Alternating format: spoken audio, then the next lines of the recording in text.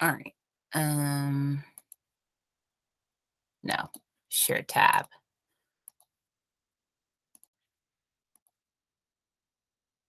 All right. Hopefully, Lord have mercy. Let me zoom in some more.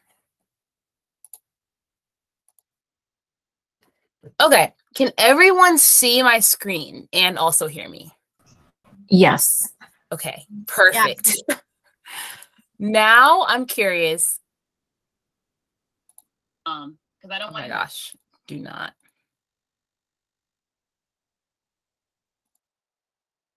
Hopefully the YouTube is still live as well. All right. So we are going to start from the beginning. I am using my spreadsheet that sort of helped me keep everything in one place. Um, I wouldn't say that it's for everyone just because not everyone is good at using spreadsheets, but for me, like I like it because I can just go to different tabs and find definitions. I can see like progress of how I'm doing when I check off like what chapters that I've done and what I feel good about, what I don't feel good about. So I can kind of get an idea of where I'm at in terms of like competency with this sheet. So this is one of the tabs that I actually made. This is not included in the um, study guide that I sell, but this is like this is the basic study guide that I sell, but it has an extra tab, which is the one that I'm on right now. It says terms and definitions ABC order. I put this in there because I wanted to be able to find terms really quickly. Um, but on the other tabs, you can fill in the definitions and sort of learn as you go. But I do have like a quick reference sheet for myself when I'm doing meetings and stuff. So this is what I'm going to be using today for a couple of the task items. Um, so yeah, we'll start with philosophical underpinnings, which is part of foundations. A1, identify the goals of behavior analysis as a science we know that that means description, prediction, and control. So hopefully that rung a bell to you before you even really read the whole thing. Um, description is the systematic observation of a given phenomena leading to prediction after repeated observations of events that co-vary or seem correlated. And lastly, with a certain degree of confidence, a functional relationship is established with ability to exercise control. So you sort of start at description and work your way to control. Control is what we typically would want to get. Like it, anytime that we're trying to fix the behavior or change a behavior, we want to figure out the functional relations of that behavior. And so we want to be able to describe it and we want to be able to make a prediction based on the past and the pattern of the person behaving or the behavior itself. And then we want to be able to control it with the interventions that we put into place. So that's A1. Does anyone have questions about A1 or want to add anything?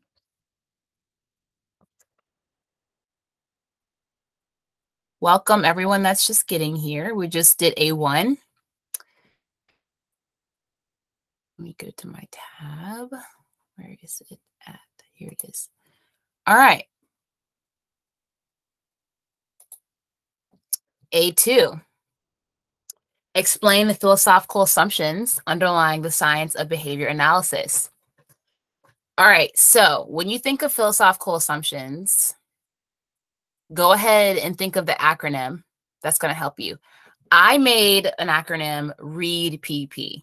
So, well, I didn't really make it because others have used it too, but this is the one that I like to use. Um, the first one I'll say is replication, which means repeating experiments.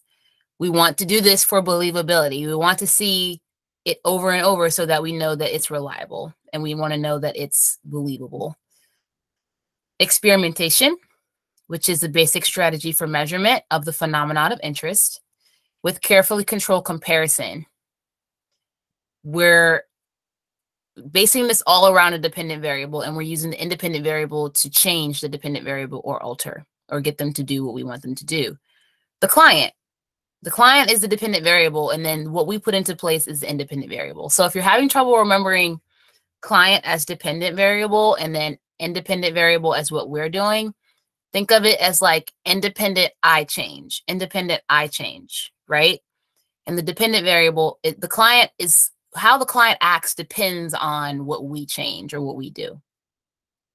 So, So the client's always the dependent variable? always, Okay. Because that's what we're manipulating, right? We're manipulating that to get a change, right? exactly. Okay. Um, and so if you're having trouble still with like the independent variable, independent variable, if you look at any graph and you see the client and then you see the intervention on the graph, the intervention is always going to be on the bottom line or also the x-axis. The x-axis is the line going across, right? So the intervention is going to be on the bottom always. The dependent variable or the client is going to be on the y-axis, which is going up. So y to the sky, client dependent variable, that's always going to be on the y-axis. So if a question asks you, which I have been asked this before, not on the exam, but I'm a, I'm a first time test taker, but I've seen mock exams where it said identify the dependent variable and it had all these different things labeled and the dependent variable is always going to be on the y-axis. That's just like an automatic giveaway question for me because I know for a fact that's where I'm going to find it at. So that's a little bit. I know I kind of went on a tangent for that, but some people have trouble remembering it, and I think it's like one of those questions that like could be an easy an easy point for you. So just try to remember those things. Yeah, that was huge helpful because I always have problems with the graphs. That was like so helpful. Yeah, you're welcome. Yeah, and I mean another way to remember the x-axis, x across. So like how you draw an x is across, like it's gonna go across the bottom. So you know for a fact it's an x if it's going across, right? And then you know for a fact that y, y to the sky is gonna go up. Mhm. And that's always going to be going up on the side, and that's going to be your client or your dependent variable on that. You'll also notice the x-axis is typically in time. Not always, but a lot of the time the, the x-axis is going to be in time. And then the, the y-axis is going to be whatever the level or rate of the behavior or the whatever the person is doing is going to be on the y, and then the time is going to be on the bottom or whenever the intervention was like on a multiple baseline design, you're going to see the intervention on the bottom and you're going to see the different times that the intervention was implemented based on the client or the setting or the behavior. So that's a good example of a graph that would show like the differences in time and implementation. So moving on to, let's see, we did R, we did E, which is uh, replication and experimentation. Now the other E, which is empiricism, which is the practice of objective objective observation. Um you know looking at looking at whatever you're looking at but you're looking at it within a very objective lens. You're not just putting random stuff. Like what do you see? Are you being objective? Like are you accurately documenting what you see and what you're experiencing? Um it's very evidence based and scientific so think about that like empiricism is very evidence based and it's going to be very like as a matter of fact. Um, determinism, which is nothing is an accident. Uh, the universe is a lawful and orderly place. So nothing is just going to like come out of the blue or just be random. Like if it's for a reason. Is uh, can we say that's almost like you're provoking something to happen? Or what do you mean? like your actions is gonna cause something to happen? Like if you make the wrong choice, you're causing it to to happen. Can we put it that way? Um, you know, if that's how you're going to remember it, that Mhm. that's fine. I think it's good to sort of make your own like Mm-hmm. sort of takeaway from it. But Okay. as long as you remember that like nothing is accident. Yeah, that's because I was having a hard time remembering this. So I was like, okay, it's like me provoking my own incident to happen. You know, my own actions causes it to fail or causes it to break or whatever it's supposed to be. That's how Exactly. I'm remembering. Yeah. Yeah, like Mhm. uh my desk didn't just break out of nowhere. I was pushing on it. yeah. Like that. That's what I mean. Like our actions will cause something to happen. Exactly. Yes. Very okay. good. Does anyone else need any help with that determinism? All right. Uh, parsimony. Ruling out simple and logical explanations first. So start simple. It's easy to remember this one. Start simple and then work your way to complex. You don't have to go the full nine yards when you're trying to figure out something. Just start simple, start small. And then whatever you have to do, if you can't figure it out at the simple state, then go, you know, think about the other explanations that could be. Um, parsimony. Let's see. Parsimony. I don't know actually what the origin of this word is. I know that money means money. like in old English, but I don't know like how the parsimony actually like means simple. Does anyone know that? I'm just curious. I think you're right. I think it means simple. Like t- I take it as like you're taking baby steps before you get to the grand finale, and then from there you see if it's that's the way you want to go. That's how I've been yeah. taking it because it's easier for me to remember. Yeah, or if you're mm-hmm. having trouble remembering like parsimony, like parts, you know, like small, mm-hmm. like small yes. part. Mm-hmm. Um, so simple, or you know what, parsim, you could take the sim, Ooh, take the sim and just put simple in there. True, that could work. Yeah. Yeah. So that's like one way. And now for philosophic doubt, which is pretty simple too. Um, it's just a healthy, a healthy level of skepticism. Uh, it's the idea that scientific knowledge is should always be viewed as tentative. Like there's not always going to be like that certain certain thing. Like you can still question it. You can still wonder about it. You could still be curious and see like, hmm, maybe this isn't true. Like maybe this needs more refinement whatever that is, you're continuously questioning what's regarded as a fact. That's called philosophic doubt. A3 describe and explain behavior from the perspective of radical behaviorism. All right, so most of us probably recognize radical behaviorism as a theory or phenomenon by B.F. Skinner. Um, the word radical means fundamental root or origin. I just put that in there just because like it just helps me remember that it's like all encompassing. And this can be compared to methodological behaviorism because radical behaviorism considers both private and public events. So both overt and covert um, events for radical behaviorism, whereas methodological you're only going to really be worrying about public events, things that you can see. So methodological is more strict. And radical behaviorism is just more all like it's just more open. Like it's going to be considering both the inner dimensions of the of the person and then also the, the environment and what they what someone could see and document. So BF Skinner didn't think that everything is just about what you can see and that's all to it like there's no other variables that are impacting the person rather than what we can see it's actually something else that could be happening that we can't see which are covert someone in this group gave me a really clever way of remembering covert and overt when they said covert like covered like you can't see it so covert means like we can't observe it. And then over is like you can observe.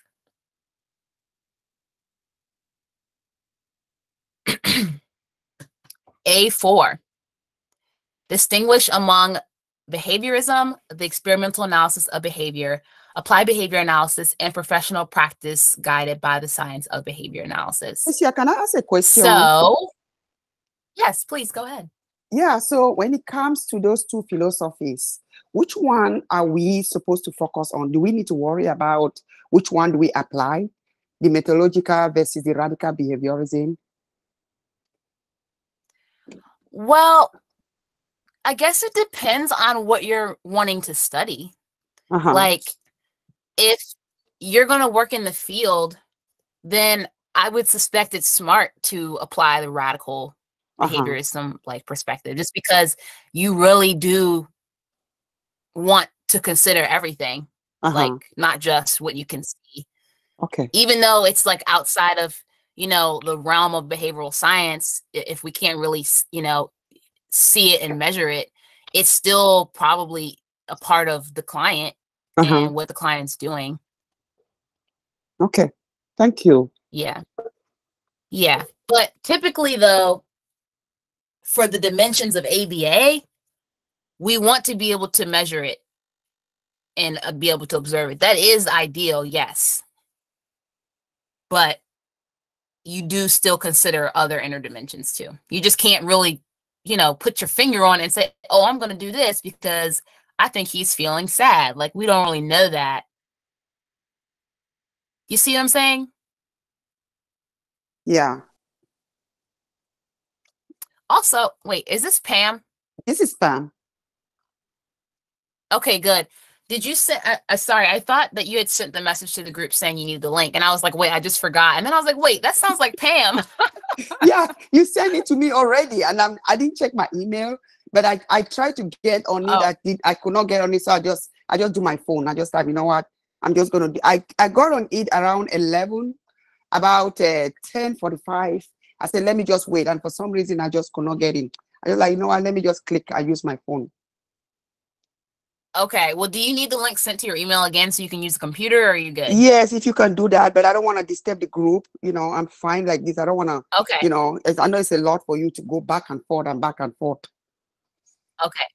Eh, Or does, Yeah. does anyone else mind just putting it in the um in the um group chat because I'm kind of I don't mind this time if someone sends it out, but yeah, that'd be nice. If no one does it in the next couple minutes, I'll do it. I'll Okay. try. And do, I'll try and do Okay. it for you. Uh, Okay, thank Okay, you guys. okay, Thank you guys so much. Okay. All right. So uh um yes, the group chat on Facebook. The Google Meet link to the Facebook group chat. Sorry, I should have been more specific. Thank you, Alyssa. All right. Um A4. So I already read the task list item. I like to use BEEP because it's just an acronym for all four. Um, so beep, B E A P, beep. Those are the four categories, pretty much, of behavior analysis, stemming from behaviorism all the way to professional practice, which is like the implementation and everything. So, behaviorism, we start at the theory and the philosophy. Um, the theoretical account of all behavior consistent with existing data. So the idea of behaviorism is that what people do can be observed and studied. That is a very, very basic, basic idea of behaviorism.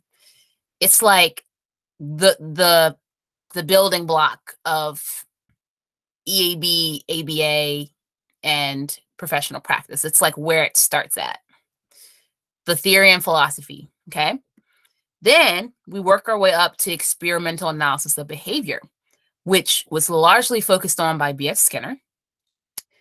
Also, we have to remember Watson and Pavlov. That's like earlier research, but Skinner was one of the major players in EAB, and he focused on designing, testing, and reporting findings of lab research, such as rate of response as the basic dependent variable.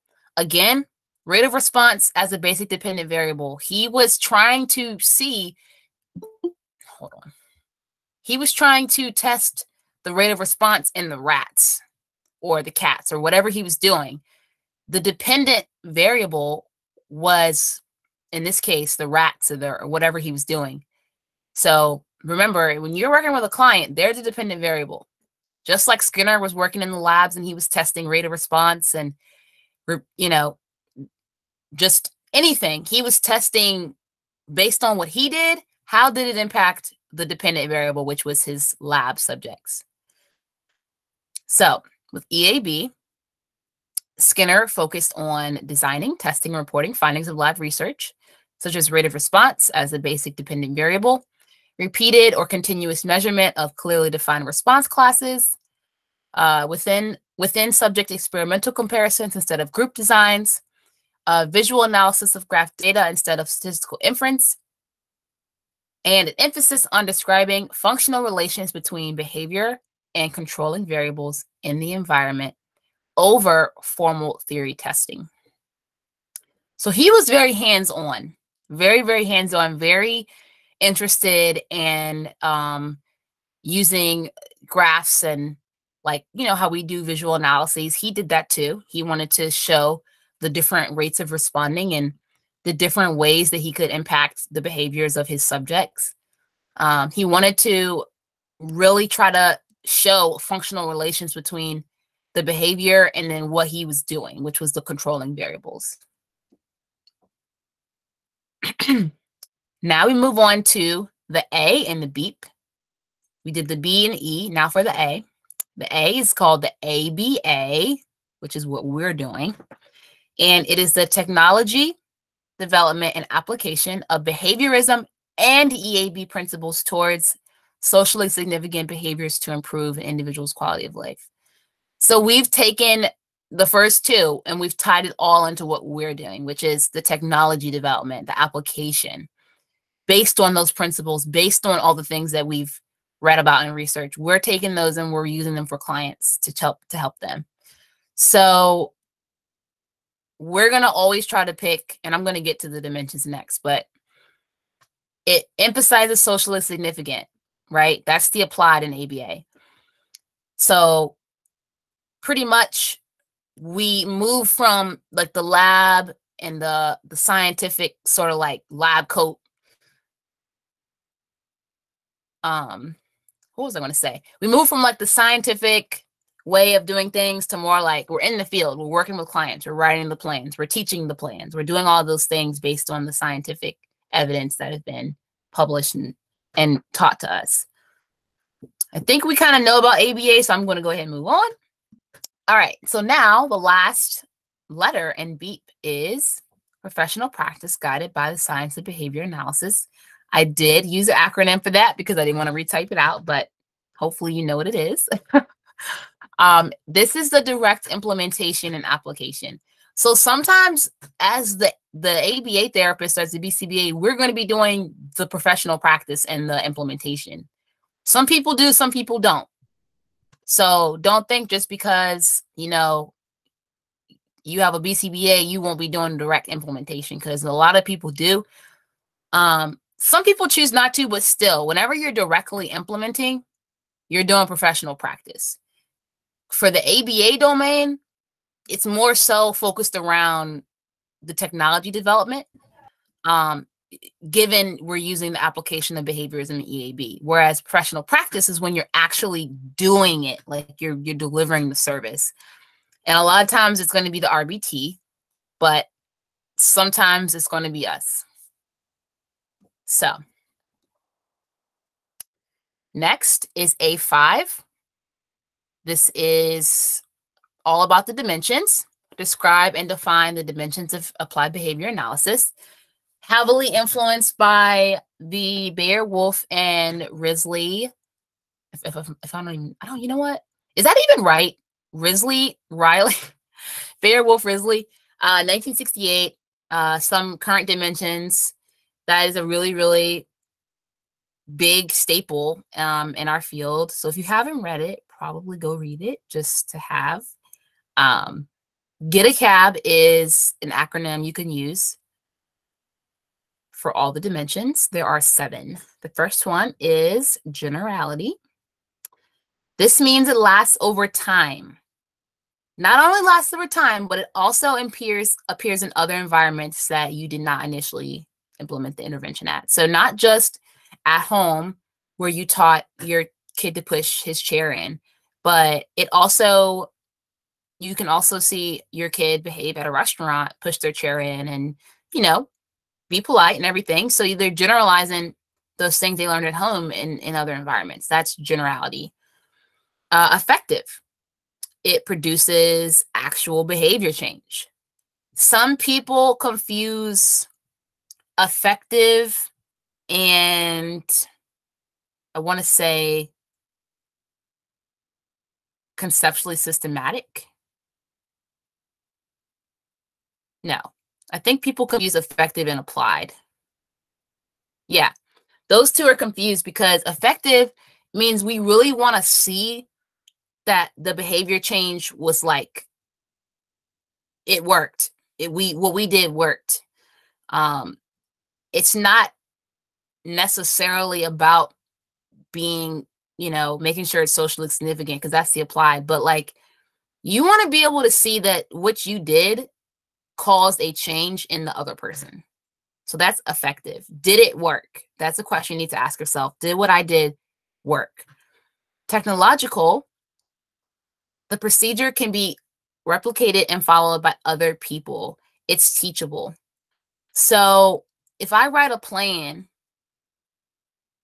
and I give it to a teacher, but they can't do it, it's not technological because I didn't write it so that someone else could go behind me and do it again. We just wasted time. So, whenever you're trying to make something technological and you're trying to base it on that, make sure that it can easily be followed, even if it's just like you teach it one time and you just see, like, oh, were they able to do it? Were they able to understand what I was saying? So, making it easy to understand, making it easily understood, like in terms of can you watch that person do what you just said to do and did they do it correctly? Applied, socially significant. We know that. Um, and it improves their quality of life. Ranking target behaviors. I've seen so many times that people choose these behavior plans and these target behaviors that don't really even matter that much, or therapists that choose skills that the client already has. Like, that doesn't make any sense. Why choose target behaviors that the person already has? You're not really improving their quality of life because that they already knew how to do that thing. So why choose that? Um, not to go off on a tangent, but just like sort of how I mean, I guess use common sense too. Like, should you really be programming someone to set the table when they have trouble even like sitting down and and like you know being at the table calmly and not hitting like is that is it really more important for them to know how to set a table and do all that before they can actually like sit down at a table and eat normally? Um i've seen and heard stories about that so hopefully someone is uh giving me a me too. Yes faye. No i'm just going to piggyback on what you were saying and it's mostly and it's so crazy. There's mostly the insurance companies that mm-hmm. think that we're doing it back. The insurance company think that we're doing it backwards when they they're not recognizing what we need to do first. Exactly. Just like you said, insurance company companies say, "Oh, they need to learn how to set set a table," and then we're thinking, "No." they need to learn how to sit at a table before they can learn how to set a table. Exactly yeah, I'm going through that right now with the insurance companies. Like, you know, they don't want us to teach, want me to teach my client how to, you know, say words, you know, different words.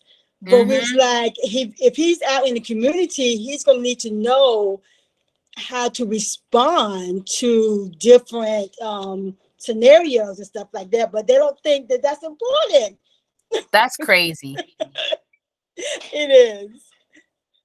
Well, so I mean, I'm sure all of us will see that and be like frustrated because we're trying to go based on the dimensions. We're trying to go based on our roots.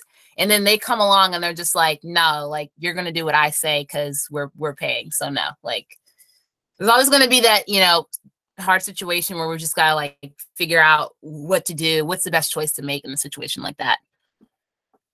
Um but I I do know I'd like to add that um, I inquired on who who is the insurance. Um, are they BCBAs? Do they actually know the role of the ones writing the interventions? And they are BCBAs. They have doctorates. That who that is who um, approves um, the the intervention. So it's kind of like, wow, if someone that's sitting there that has a PhD and has the BCBA and they want to see, you know, improvement, it's kind of hard to argue that. Yeah, it's really it's tough. All right. So, where was I? Okay, so that that that concludes uh section 1, which is a 1 through 5. That's section 1, excuse me. Task list item 1, which is A. Can you go back over conception, conceptual, um, systematic? Did I skip that? Oh, you know what? Yeah, I did. you I, I you know what? That's right.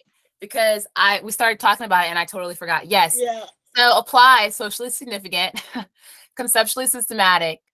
Uh, the interventions used must improve the behavior and they need to be based on relevant principles of behavior analysis. If what you're doing is not evidence based, if what you're doing is not based on behaviorism or relevant principles, it is not conceptually systematic. Concept. Think about the concepts, the concepts that we learn. If you're having trouble with that that term, just think about the word concept. What concepts did you learn in your program based in ABA can you use for this client? Are they known to work? Are they known to have certain drawbacks? Are there pros? Are there cons? Think about all of that. That is evidence based interventions that you need to use. If you learn them in your ABA program, most likely they're conceptually systematic and you need to go ahead and use ones that are known to work. And that's why you should be good with looking up literature um, because you need to be able to find interventions that maybe you didn't learn about. Maybe you're trying to figure out something else. You can't figure out why the client is not responding to you when you're doing all these different things. Like there might be times where you do need to look up other interventions that you might not know about. And that's where literature comes into place for that. Um, JABA is great.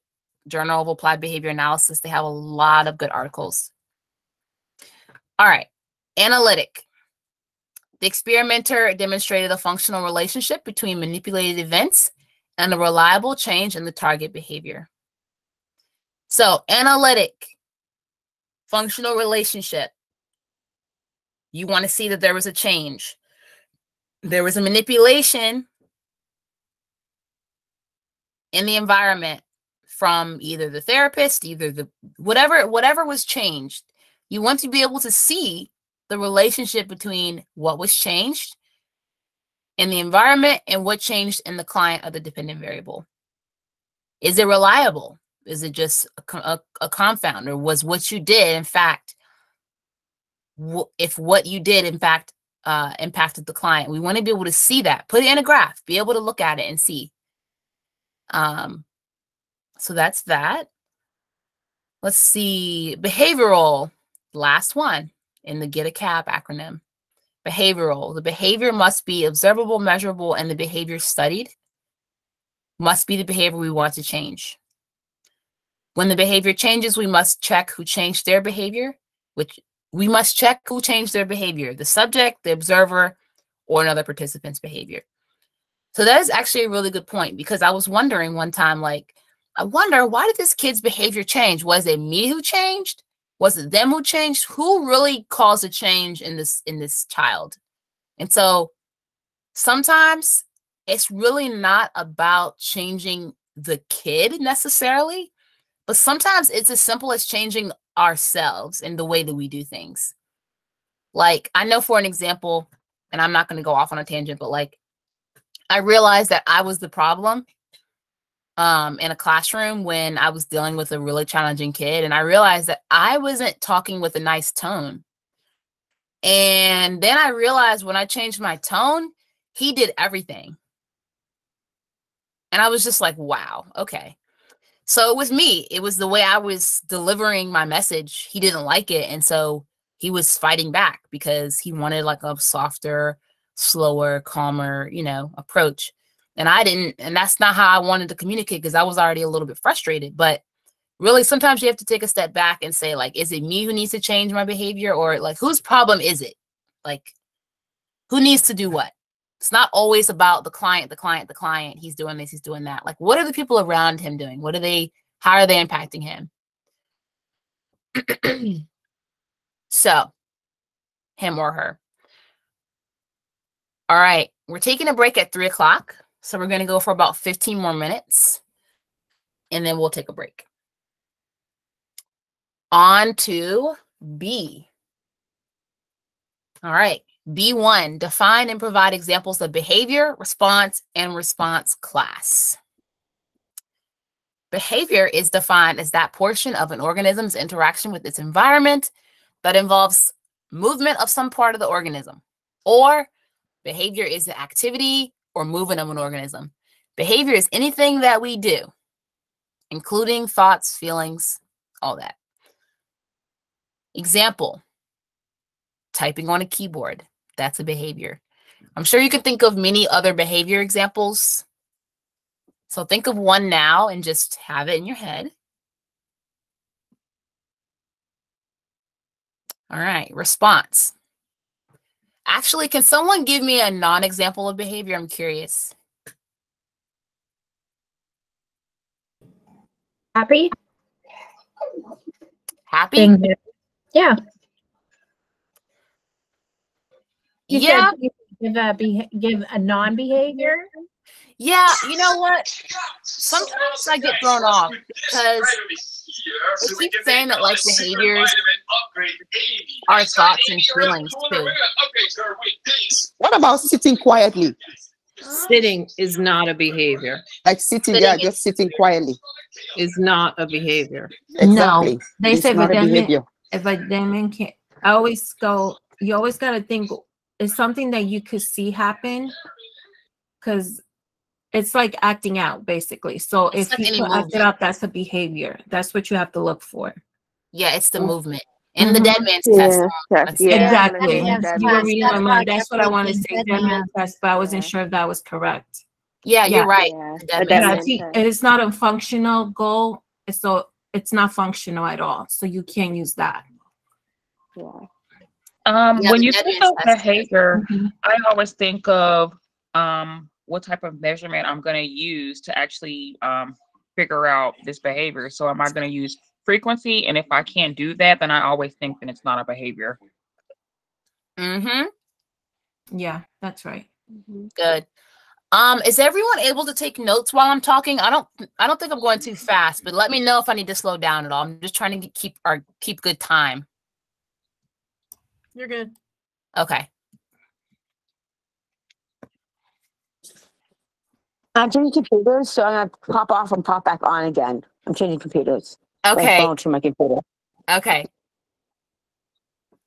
All right. So we talked a little bit about behavior. Um, now we're going to go ahead and go to response. Response is a specific instance of behavior or an occurrence. Response is a specific instance of behavior or an occurrence. Okay. There is a technical definition. I did include it because you might as well know it, or at least see it once or twice. Um, the technical definition is an action of an organ organism's effector. An effector is an organ at the end of an efferent nerve fiber that is specialized for altering its environment mechanically, chemically, or in terms, oh my gosh, that's a typo, or in terms of another of other energy changes. So yeah, that definition sucks pretty bad, but it is the technical definition of response. Let me edit that real quick. There's no way I'd ever be able to memorize that in my entire life. Not happening. Um, It's also a single. I think it's crucial that it's you say single, right? Single instance of behavior. I can add that in. Definitely. ha- it has to be sing like singular. Yeah. Is a Because singular. you're only responding to one action at a time or whatever the behavior is versus multiples, right? Right. It's a single instance of Mhm. behavior. Yeah. All right, where was this at? Mm, I forgot where I was at. Oh, here it is. Um, example pressing a lever. That's a response. Very simple example, but hopefully that makes sense to y'all? now, response class. You know what? I'm gonna scroll up. Does someone know what a response class is before I like talk about it? Wouldn't that be something that's in similar in form? Like it has to be corresponding to something that's happening already or not? I always get that mixed up with topography. Like you know how you have the topography of response class, so you- everything's similar and familiar or something like that. They Uh-huh. serve it serves the same function. It's the That's same how- functions, like s- Mhm. so many behaviors with the same function. Right. Does Mhm. anyone else want to add anything? The topographies can be different as long as the response is the same. Uh, Which is topography of response class, right? Yeah, they can Oh. look different, but they have to serve the same function. Okay, got it. Yeah. Mhm.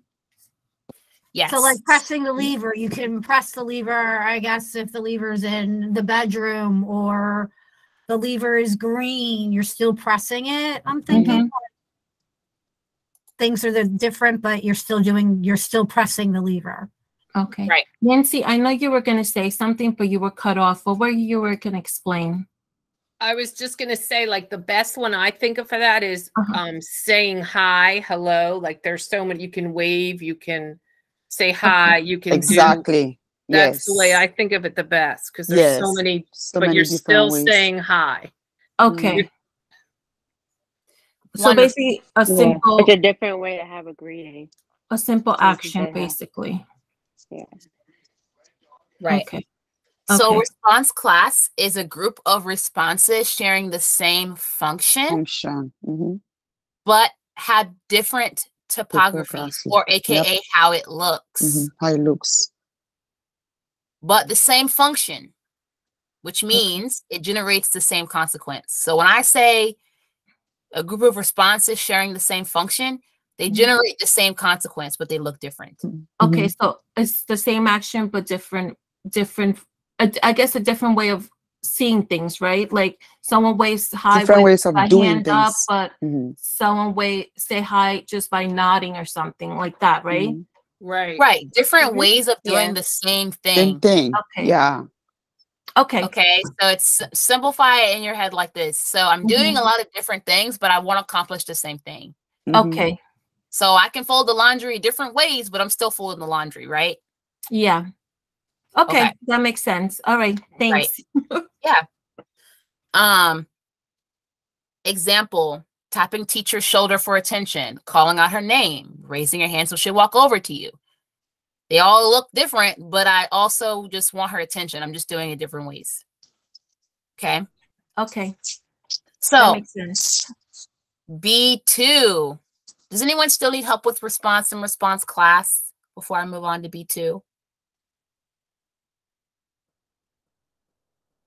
Or if you're if you're taking notes, I can keep it up. I don't know who's doing what, but I I, could just I'm leave taking up. notes. Okay, I'll leave it up while I read the next one. Wonderful. Thank you. Yep.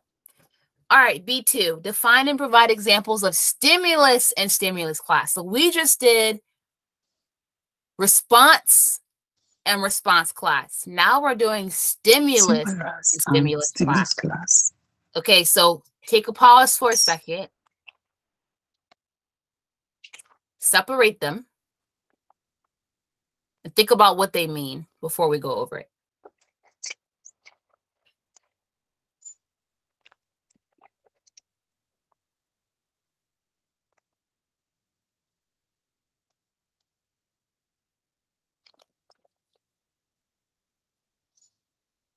So a stimulus is an energy change or either either a change in the environment that affects an organism through its receptor cells. A stimulus is anything a person can experience through their senses, such as being heard, smelled, seen, felt, tasted, etc. So a, stimulus example, hearing a knock at the door, Mhm. smelling freshly cut grass. Mhm. That's a stimulus. All right. So Mhm. is- is everyone good so far with that? Yep. What is stimulus? Yep. Okay. Yes. Stimulus class is defined as a set or group of antecedent stimuli that have a common effect on operant class. Okay, so they have a common effect on how we receive them or what we do with it. So let's just let's just move into the the, the types of stimulus classes because I want I think this is going to be a little easier to understand. Uh so there's three types of stimulus classes. Formal, temporal, and functional. Formal, temporal, and functional. FTF. Formal, think about what formal means. It's very similar to the word topography. Someone is trying to get in. Hold on. Violetta. I don't even think that she signed up. Hello. See. Oh, my dog just barked. um no. Let me see. Where was I at? She distracted me. Now I don't know where I was at. oh yeah, formal. um yeah, FTF, that's right. Thank you, Laura. Um FTF.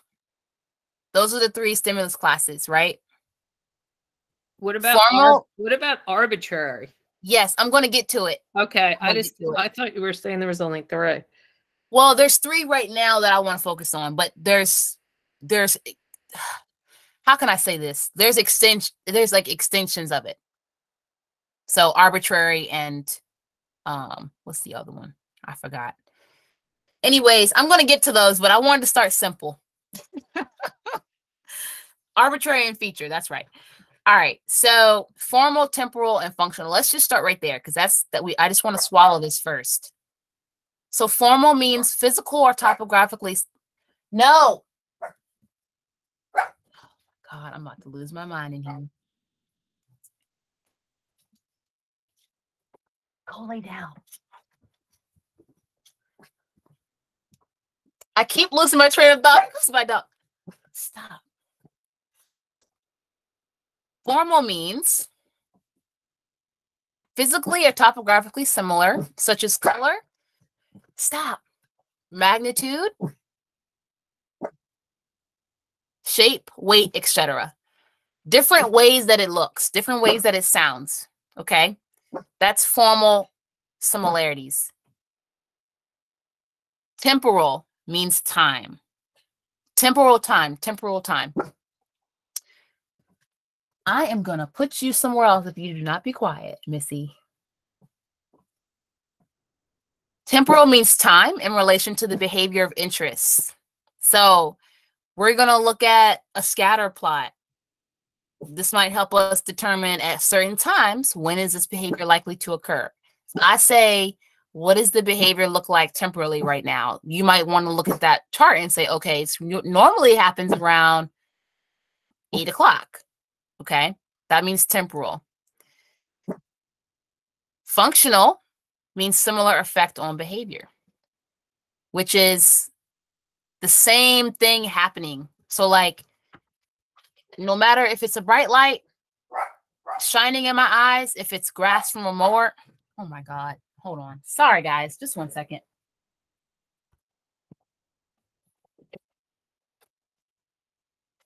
She's about to make me mad. All right. Formal. No, not formal. Where was I at?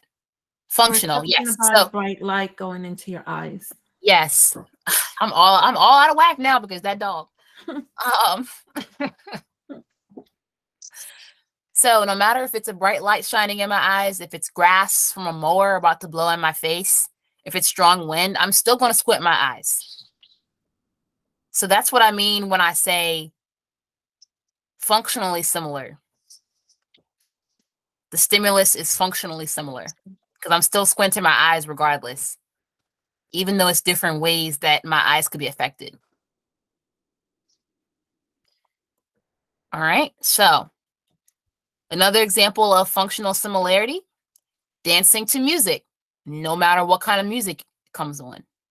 No matter if it's country music, is it hip hop, is it jazz, is it bossa nova, whatever it is, I'm going to dance because it's music and I like music. Um, other ways to identify stimulus class, arbitrary, and feature. So don't get too confused. But just try to stay with me here.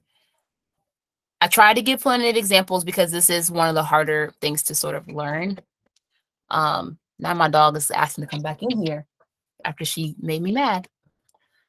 Um, where was I at? Here. Arbitrary.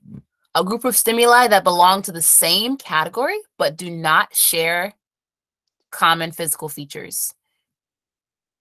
So, example one sources of protein chicken breast, chia seeds, eggs. I'm still getting protein, right? But I'm getting it in different ways.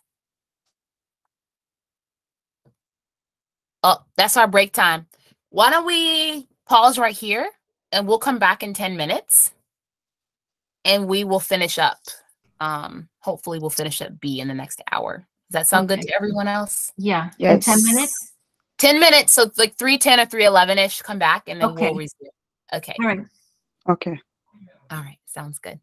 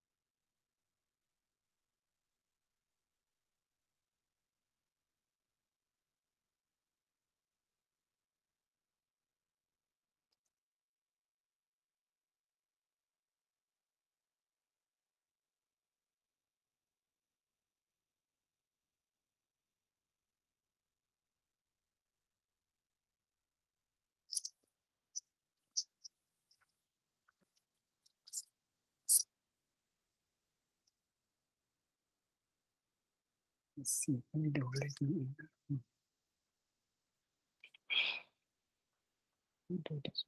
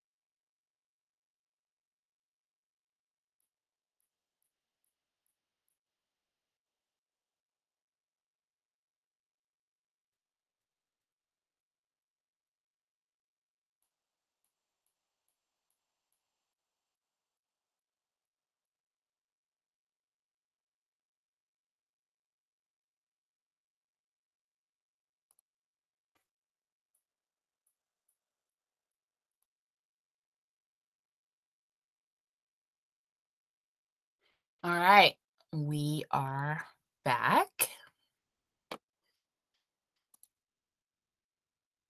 Hopefully, everyone got a chance to take a little break.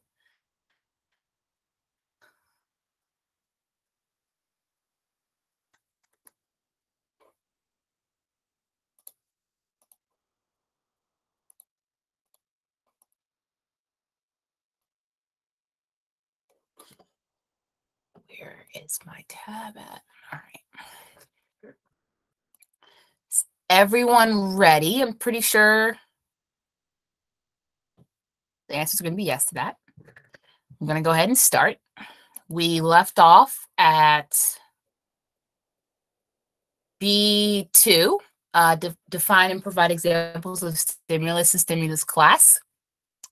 We stopped at arbitrary stimulus class and feature stimulus class. So, arbitrary, again, is a group of stimuli that belong to the same category, but do not share common physical features. Aka do not have the same topography right? They don't have they don't look the same. So with that in mind the first example that i started to talk about was sources of protein chicken breast chia seeds eggs. All sources of protein but look differently. Types of vegetables peas or corn. Things that reduce pain ibuprofen menthol rub or heating pad. So these are all similar things. They have similar benefits, right? But they look differently. If something is in the same, if something is similarly in feature, it's a group of stimuli that belong to the same category and have similar physical features. So if you think about arbitrary, they're in the same category but did not have physical features that were common. But when you look at the feature category, they have both the same type, same category, and they have the same physical physical features. So, example, things with tails, cats, dogs, monkeys. They're all animals and they all have tails, right? Things with branches, hedges and trees, they both they're both plants and they both have branches on them. Things that are the color green, kale, kiwi, and celery. They're all healthy food, but, and they're all green, right? Does that make sense to everyone? Yes. Okay. Hopefully those were okay Yes. examples. I tried to give Yeah. like three because those are like more complicated. Um so is everyone clear though, besides the arbitrary and, and the features?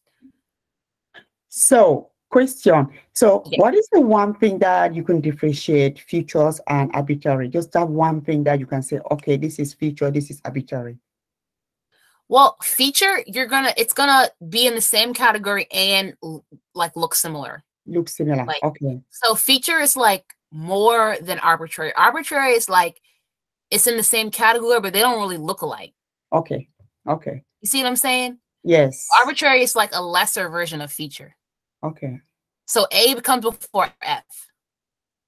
Okay. Like What- A,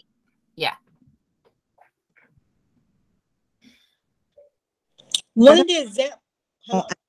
Go ahead. For formal, for formal. yes, formal and feature. Sorry, I didn't hear your question. The difference between formal and feature. Formal and feature. Well, formal is just pretty much how it looks or how like like is it what color is it? Um how loud was it? What shape is it? What weight is it? That's like Yeah. like, like the physical property, Size. Yeah. the physical property. And feature is physical and functional. Feature is physical and in the same category. Yes. Thank you. Yes. Okay, thank you. So maybe I should like, and I didn't really bold the terms because I was just these are like how I type my notes out sometimes. Like I just type it all in one paragraph.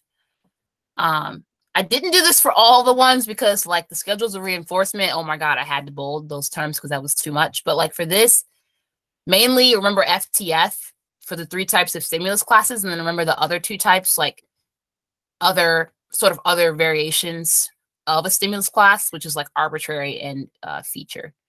So if I say, if I say, okay, um, what are the feature similarities in dog and like in in things with tails? You would say, all right, well, if I was looking for similar features, I would be looking for things that are very similar to each other. Literally, like an animal with a tail, or an animal with ears, or an animal with three eyes. I don't know.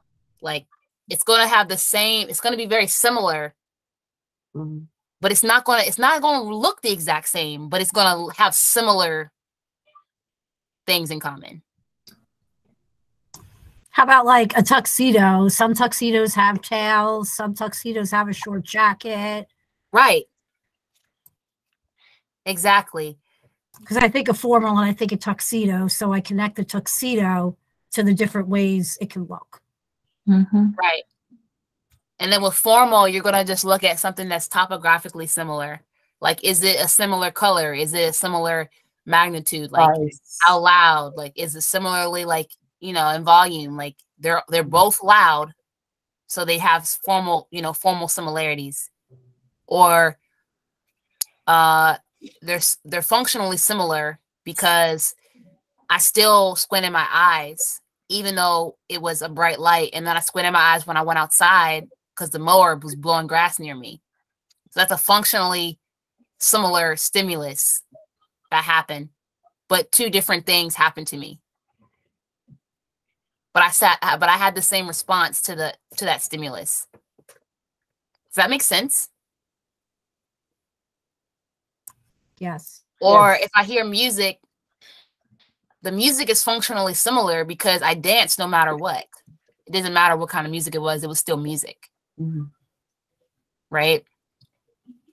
So if I say, so someone can answer this. If I say, um, give me an example of a of a stimulus class that has uh, formal similarity, what would you say? Would it, will we use bikes? You said what? Did what'd you say? Bikes, like bicycle, wouldn't that be similar? Uh, Riding, buying a bike, so you compare all the different bikes that you have. It looks the same, but you're comparing the difference in function. One is faster, one is higher, or one is just for cruising, or whatever. Hmm, let's see. What Would if you say formal or functional? Let's see. That would be I I would Oh, assume formal. formal. Formal. Mm-hmm. Yeah, the different types of bikes. Yeah. Yeah. So Mhm. whether it's a cruiser, whether it's a mountain Yes. bike, whether it's Mhm. a that's 10 feet formal similarity. Yeah. Mm-hmm. Can we say fruits that are round? What'd you say? Fruits that are round. Round that have fruits. round, yes, round fruits like oranges and um any any fruit that is that has a round circle. Right. So that's formal similarity. That's perfect. Uh, what if you about- say- oh, go ahead. No, go ahead. No, I was gonna say, what, what, what about if you say like a stop sign in the octagon? Would that be formal? Uh, compared to what? compared to as far as like the the, the shape. 'Cause one of my clients is I ask him to name a shape and he'll say a stop sign. So it's like it's Yeah. octagon. So it's Yeah. that- yeah. I used to give him that because it's it's octagon. Right. That's formal similarity because it Yeah. looks similar at yeah, exactly. Yeah. Yep.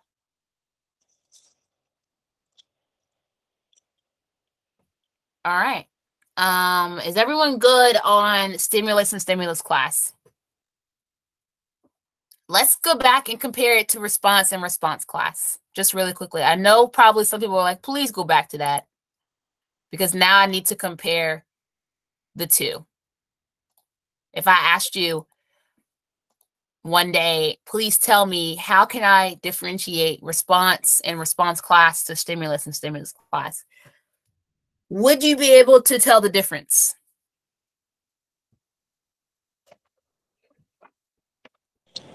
Ah, Well, resp- in response class, you're looking at more the action and the behavior. So that's the Right. way you will be able to distinguish the difference between the stimulus and the response class. Because you're looking at action versus what are you looking at an object to compare similarities between one and the other. Right. Right. So the response is like literally the response or the behavior the behavior. That you're doing, Mhm, right? mhm. That are similar. Whereas if you have the stimulus class, it's like what you're initially experiencing and what you're before you even re- before you even react. Really. How are these things similar? How do these Mhm. things match up to what I what I'm used to seeing? What what am I smelling? What am I feeling? What am I tasting? How is it Mhm. similar to everything else? Before I even really respond, like a full like behavior that somebody can see, I'm in. I'm getting something. Like I'm getting an idea. I'm thinking first. I'm comparing things. So it's really not like if you're trying to really like figure out a shortened way of of differentiating them, just like think about how response is like response is after the stimulus. The stimulus mm-hmm. is first, and then it's the response. So like the mm-hmm. stimulus is like you hear the you hear the music and then you decide to dance, Yeah. right? And then the the stimulus is going to be like I'm trying to I'm, I don't want to over explain, but like Well, isn't it like FTF. like you go to a party and you see your best friend walk through the door? How are you gonna react? You're gonna react like you're happy, so you're gonna run up to her and give her a hug. So Mhm. wouldn't that be a simpler way to say it? Like you see someone you like and you like automatically You run react to it. hi, Yeah. or you just wave wave them down and say hi. That's a good example. Yeah, that is a good example. Sometimes That's I a have trouble good like thinking about it in the moment, but like yeah. So that that's good. I just don't want you to get on the test and like accidentally confuse like stimulus No. class and response class. Yeah, absolutely. I agree. Can we look at the I like- stimulus stimulus uh class as like an internal response almost like because it's happening before nobody sees it can Yeah. can that be considered like internal Well, I we're mean, thinking and how we're going to react So yeah, I mean it, it's it's an experience. okay So you experience it first before you even respond, really. okay I mean, it, the definition is a stimulus is anything a person can experience through their senses. So so yeah and so for me I, I look at that as an internal response okay yeah, Okay. and then you respond, which is that which which is that specific instance, and then whatever you respond by doing Uh-huh. is you it's you know your action, Yes, what you do, Yeah. Yeah. and then based on what your action is, they can Mhm. have similar outcomes, which is the response class. So Mhm. but they can we look different. compare that to a private event? What do you I- mean? like you know how you in a private event only that certain individual would experience what's going on can we also compare that to a private event or no Well, I mean, we can't really see an energy change. I Mhm. mean, we can't really see that. Mhm. So that's like me saying, yeah, I can tell they're. Well, I mean, I, I you, don't know. could be individual technically action. you could, you could. right Yeah. because it's an experience right Can we say can, can we say that can happen individually? Like say you get up from bed and you didn't get a good night's sleep, it's gonna actually affect the way you're gonna react to others. Right. I think it could be it could be unnoticeable or noticeable. I mean, it really depends on the the magnitude Uh-huh. or you know the the obviousness of the stimulus. But technically, the way the definition is worded, it's like an experience through your senses. So we can't always see that, Mhm. but sometimes it can be seen based on the re- well. Can you see someone hearing? Not really, not really no but you But see you the can see the response in reaction hearing something. yeah and you see the response to them smelling something. uh, smelling something. You don't really see them smelling don't. Like, you can't yeah. see that. But I don't want to get too caught up on that. But anyways, are we are we good? Yeah, so far I'm fine. Okay. Um, B3, define and provide examples of respondent and operant conditioning. Woohoo, I love this one. Respondent conditioning, aka higher order conditioning, aka classical conditioning. I was confused about this one a mock one time. A little bit embarrassed, but that's okay.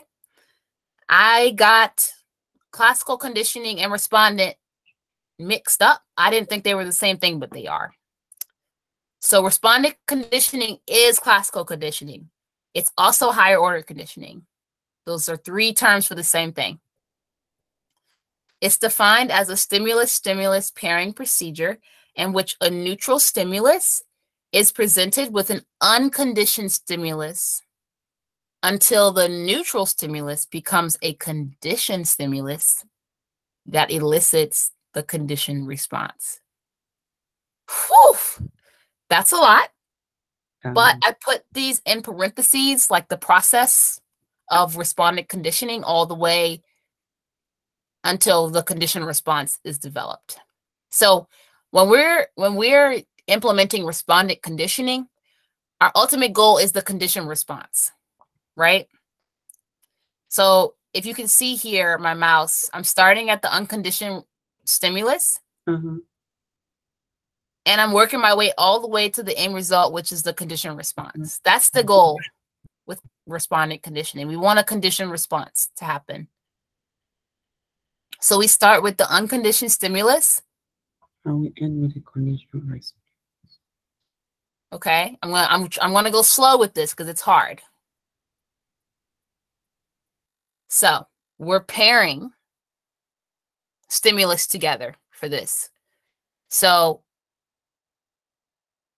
the neutral stimulus is presented with an unconditioned stimulus. Okay. The neutral stimulus then becomes a conditioned stimulus. Now, let me stop right here. This right here, neutral stimulus, where is it right here? Neutral stimulus is presented with an unconditioned stimulus until the neutral stimulus becomes a conditioned stimulus. So you have an unconditioned stimulus, a stimulus that did not need training. You did not need training for this this stimulus to be salient or or have an effect on you. Okay? Would that count as like the reflex? Exactly. So a reflex, something that just is automatically, right? We're going to put a neutral stimulus with this reflex. Okay? The neutral stimulus now is no longer neutral. It's conditioned. Are you with me on that so far? Yeah. Okay. So Is it, said- can I ask a question? Is it conditioned because it's paired with a neutral stimulus? it's co- hold on. The neutral stimulus is now conditioned because it was paired with the unconditioned stimulus. So the Okay. unconditioned was already like we already were Mhm. trained on that. We were already doing Mhm. it. It was it was Uh-huh. automatic. We didn't learn it. We already had it, right? Uh-huh. The neutral stimulus was paired with it. It's uh-huh. now associated with the unconditioned stimulus. So now it's conditioned. Okay. We worked with the neutral stimulus to make it conditioned. Okay. Okay. Okay. So now that we have the first part down, now that we've taken the neutral stimulus and paired it with the unconditioned stimulus, now it's conditioned, Mhm. which results in a conditioned response. Okay. Uh-huh. That is the simplest way I know how to explain it. Okay.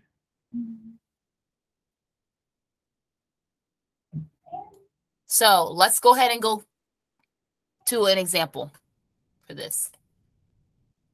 Ivan Pavlov and his famous dog. Remember with the metronome and the and the food and the salivation?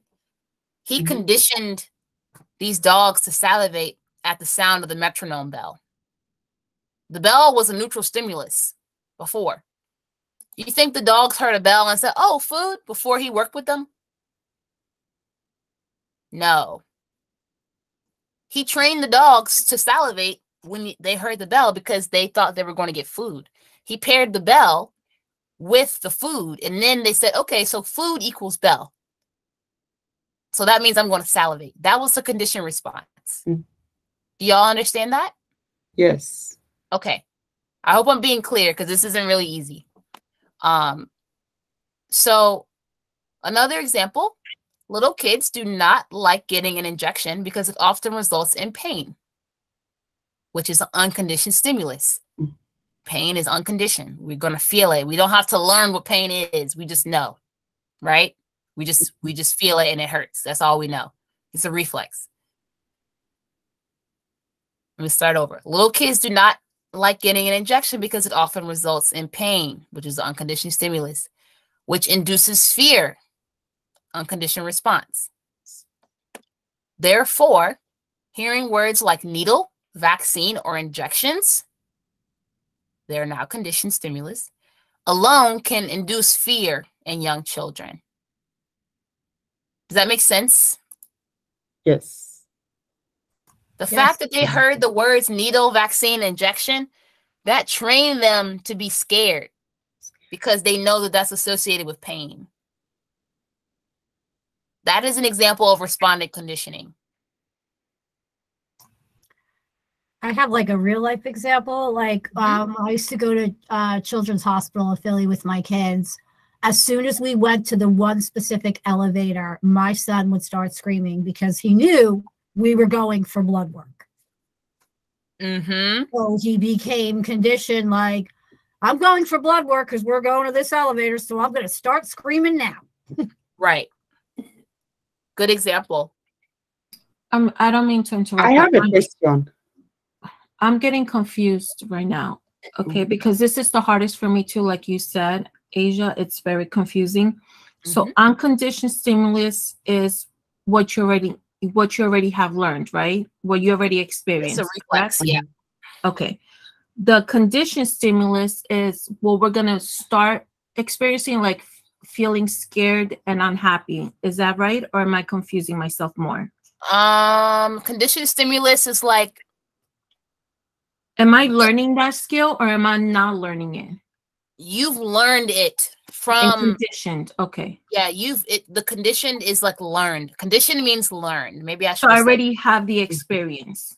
Uh-huh. yes, you've learned based on these association that this is what this is a stimulus. This is kind of like a warning.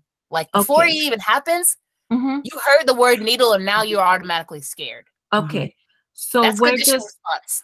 okay unconditioned response or That's am a, I that is a conditioned response. When you've heard the word needle, vaccine, injection, and you know for a fact that anytime you hear that word, you've remembered pain.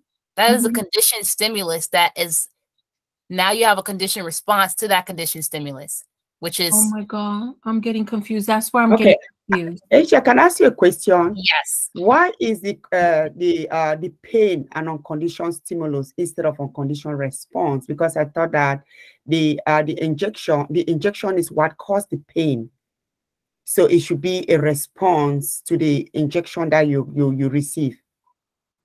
Can I um So it's really I just want to see if right I there. know it. Is that okay if I answer, Asia? Yeah, go ahead, Please, Victoria. please go ahead, please. Um, so for your question, Pamela, Yes. the reason that pain would not be conditioned is because um conditioned, anything that's conditioned is learned. So Uh-huh. we didn't have to learn to Uh-huh. feel pain. Okay. Did I- so did why make- why is the pain not uh, why is it not an unconditioned response? because, because it because it protects us from, from dying. So that's a survival a survival instinct. Is whenever something pa- pain is like it's like it's how we we've survived this long. So if we didn't learn Uh-huh. about what hurts, we would just Uh-huh. kill ourselves all the time, like without even Uh-huh. really knowing like what could result in us being hurt. Okay. It's really for survival of species. So it's it's it's unlearned. It's it's phi it's phylogeny. Compared to if you compare phylogeny and ontogeny. Ontogeny. Phylogeny, we don't need to learn these things. We don't have time to learn all these things that we otherwise need to survive. We otherwise our human race would just die off so quick.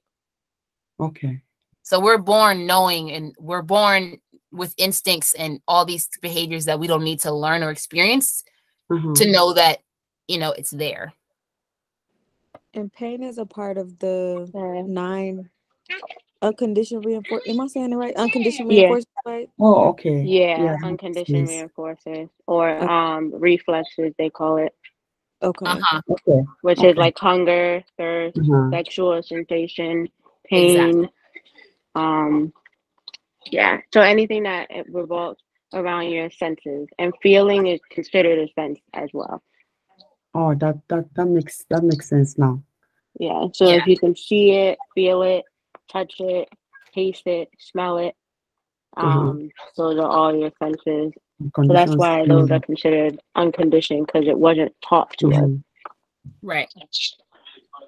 Okay. Thank you guys. Yeah. Thanks for jumping in there too. Everyone else. I don't I can't see names, but thank you. wh- Whoever was talking. oh yeah, it was everyone, but I Oh, just yeah. learned that from like just from learning with my own son, like just different things that you know that are not taught that they automatically know. Like so pain is something. But as far as like learning where pain comes from is taught. So like if you touch a hot stove, that is now taught to you not to touch it again. right. Yeah. So that's Um, but- conditioned then. Yeah. Yeah, but the initial pain itself is wasn't taught to him. It's just where it came from. So the stove was hot. So now he's not gonna touch it again because that delivers that pain that he knows about already. That he knows is bad. Yeah. hmm So that's okay. So that example that you provided, so that's conditioned stimulus or response. 'Cause He's a stimulus, right? So it would be a the action of touching the stove would be Yeah. um the response. The response. Okay. The response. And then pulling it back. Yeah. Pulling the hand back is a conditioned response. Response. Okay. But- Got it. Yeah. So he's learned. Okay. I think I'm getting it. Okay. So anything conditioned like stimulus or s- response is always you're learning, right? Because you don't have those Yeah. skills yet. Okay. Condition means learn. To learn. Okay. Unconditioned is unlearned, or unconditioned is like reflex or automatic. Okay. Got it. Okay. All right. Okay. Just like blinking your eye is unconditioned when someone's about to spray, you know, Water. some chemicals in your eyes. Are you going to learn that that's bad, or are you just going to squint? You're just going to squint because that's automatically like what you're going to do because you don't want anything in your eyes. Uh-huh. Okay. I think they also said the same thing for like sneezing. It's like a, a Mhm. reflex as well. Like it's not something that's taught. It's just you just do it. Okay. Okay. Yeah. I think All I right. it. Uh, So we're gonna go ahead and keep going. Um, where was I at? There are four words like hearing needle, vaccine, are conditioned response, conditioned stimulus, and can induce fear, conditioned response. All right, operant conditioning. Operant conditioning is the process and selective effects of consequences on behavior. Operant behavior is any behavior whose future frequency is determined by its history of consequences or reinforcement or punishment or automaticity of reinforcement. Anything basically based on the past that's happened to you, that's operant learning. You're going to choose based on what's happened in the past to, to do it or not to do it again. Um, example, I push my chair in when I get up in class and my teacher smiles at me. I continue to push my chair in because the teacher's smile is reinforcing to me. I chose to push my chair in after she smiled at me because I like when she does it. So I'm going to do it again. Uh, there's four types of stimulus changes in operant conditioning. There's a positive reinforcement, negative reinforcement, positive punishment, and negative punishment. Behavior can also be put on extinction. Extinction is the absence of reinforcement for a given behavior. So you just no longer see responses to what you're doing.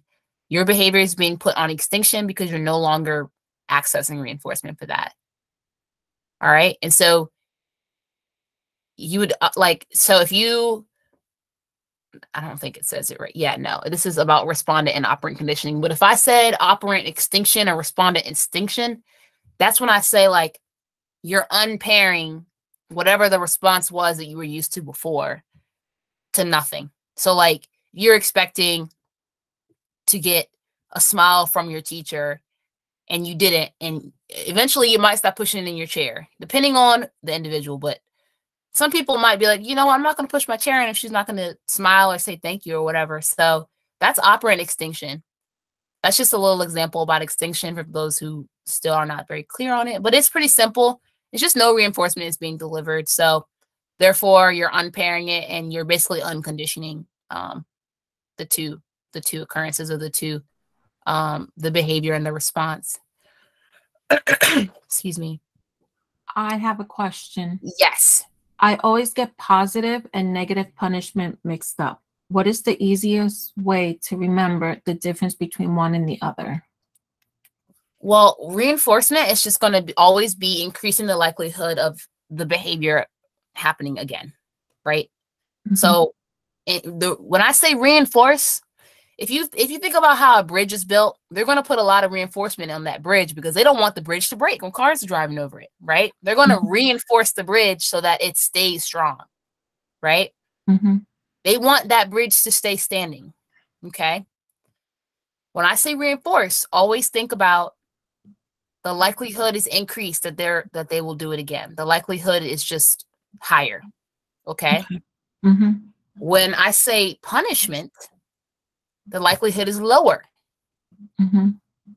one is encouraged one is discouraged Okay. reinforcement is encouraged punishment is discouraged we don't want to see them do it again if we want if we implement a punishment procedure So if okay, so let me give you an example and let me see if I understand it right. So my my client is tantrum every time he sees his mom come up, right? Come up while we're doing session. So what mom is reinforcing, so mom is a positive reinforcement, right? uh depends. Okay. depends on if they i mean if so if something is happening repeatedly as a result of someone's behavior then yes they're being reinforced. Okay. Is that your question? Because the kid keeps doing the same thing and and you're saying that the mom is is is acting as the positive reinforcer? Yeah, that's what I'm thinking. continuing to do the same thing Yeah. Is that right? yes because it's happening more Yes. it's happening at a constant rate it's it keeps happening that's a reinforcement example Okay. So Yes. if I tell mom not to come down while I'm doing session, would that be a negative punishment or a positive punishment, or is it not a punishment? Mm, it i mean if you I tell her not to come not down come- Yeah. Not to come not up to come on down how's the kids how's the kids behavior affected by that Yeah. That's Um, more like an intervention, right? If you told the parent not to come. Like well it all it all depends on what the, the does the occurrence of the of whatever the kid is doing does the occurrence go up or down that will be the, the- the difference between reinforcing and punishment And I think you can even say the example if you tell mom not to come down, uh-huh. that you telling her that did it reinforce her behavior or did it punish her behavior? Because the parent can still come down, then that was if the parent stays up, Mm-hmm. right? We have to. if the parent continues to come after you said it you reinforce the parent Right? right if, you- if she doesn't come that was punishment then you punish the behavior. Then they punish the behavior. Okay. it all has to do with did it keep happening or not that's N- what you want to know Okay. So who so this is you see, I'm trying to figure out when is it punishment, when is a positive punishment, and when is a negative punishment. So I'm still trying to distinguish between both of them. Like who am I am gonna I punishing the child for the behavior or am I punishing a behavior a behavior not reinforcing the behavior? Is that punishment? That's what I'm getting to. I don't I don't get it. So for punishment, it, if it's positive, it's mean you're adding something to decrease that behavior. So are you at so what you're technically doing would be negative punishment because you're taking away the presence of the mom to Uh-huh. decrease the child's behavior, tantruming or whatever and so the child's behavior was when mom is around. So that's how you know the difference between positive and negative punishment. But Mhm. as far as the difference between reinforcement and punishment, Mhm. will determine what the behavior like happened after you did it. So when you took something away, like mom mom's attention, Mhm. did it increase his behavior? Did he continue doing it? It If- increases the behavior when I took Alright. mom away. Yes. Okay, so it was technically negative reinforcement. That was Okay. the difference. So it's not punishing the behavior, because the behavior kept going. But Okay. even though you took mom away, now it's considered negative reinforcement. Got it. Okay. Mhm. All right. Okay. You got Got it, it. Joe? I think so. Yeah. You think? Okay. Yeah. I'll, Thank I'll, you. I'll give you another example just really quickly. If Okay. I'm reinforced, I'm going to ask you a question. Okay. Did, was I reinforced in the situation or pu- was I punished? You were punished. Well, I'm, I'm going to give you an example. Oh, okay. Um, um, I held the door for my friend and she said, thank you. And Uh-huh. I kept holding the door for her for the next years. I kept doing it. Was I reinforced by her saying thank you and smiling at me, or was I punished? You were reinforced by her saying thank you. Right. So I kept doing it, right? Mm-hmm. Yes. I was reinforced. yes. All right. Was I punished or reinforced when my mom slapped me? uh after I took cookies out of the cookie jar and I did not take any cookies anymore. Was I punished or reinforced? You were punished, right? Exactly. Because Yeah. I stopped doing it. Yeah. Okay. Okay. Okay. That that makes sense. Yeah. Okay. Now, positively or negatively punished? Ready? Okay. Was I positively punished when my mom said I could not go to my friend's house because I skipped class? Was I positively or negatively punished? You were. Oh my God. Okay. He said I were- couldn't go. Couldn't go. Negatively. So you were positively punished. Mm. Negatively negatively punished because you weren't allowed to go, so it's a negative, right? Because you weren't took allowed. to go. away Something some- is taken away. Yeah. Okay. like a negative number. It's I took away too much. Okay. So Okay. you were taking. Okay.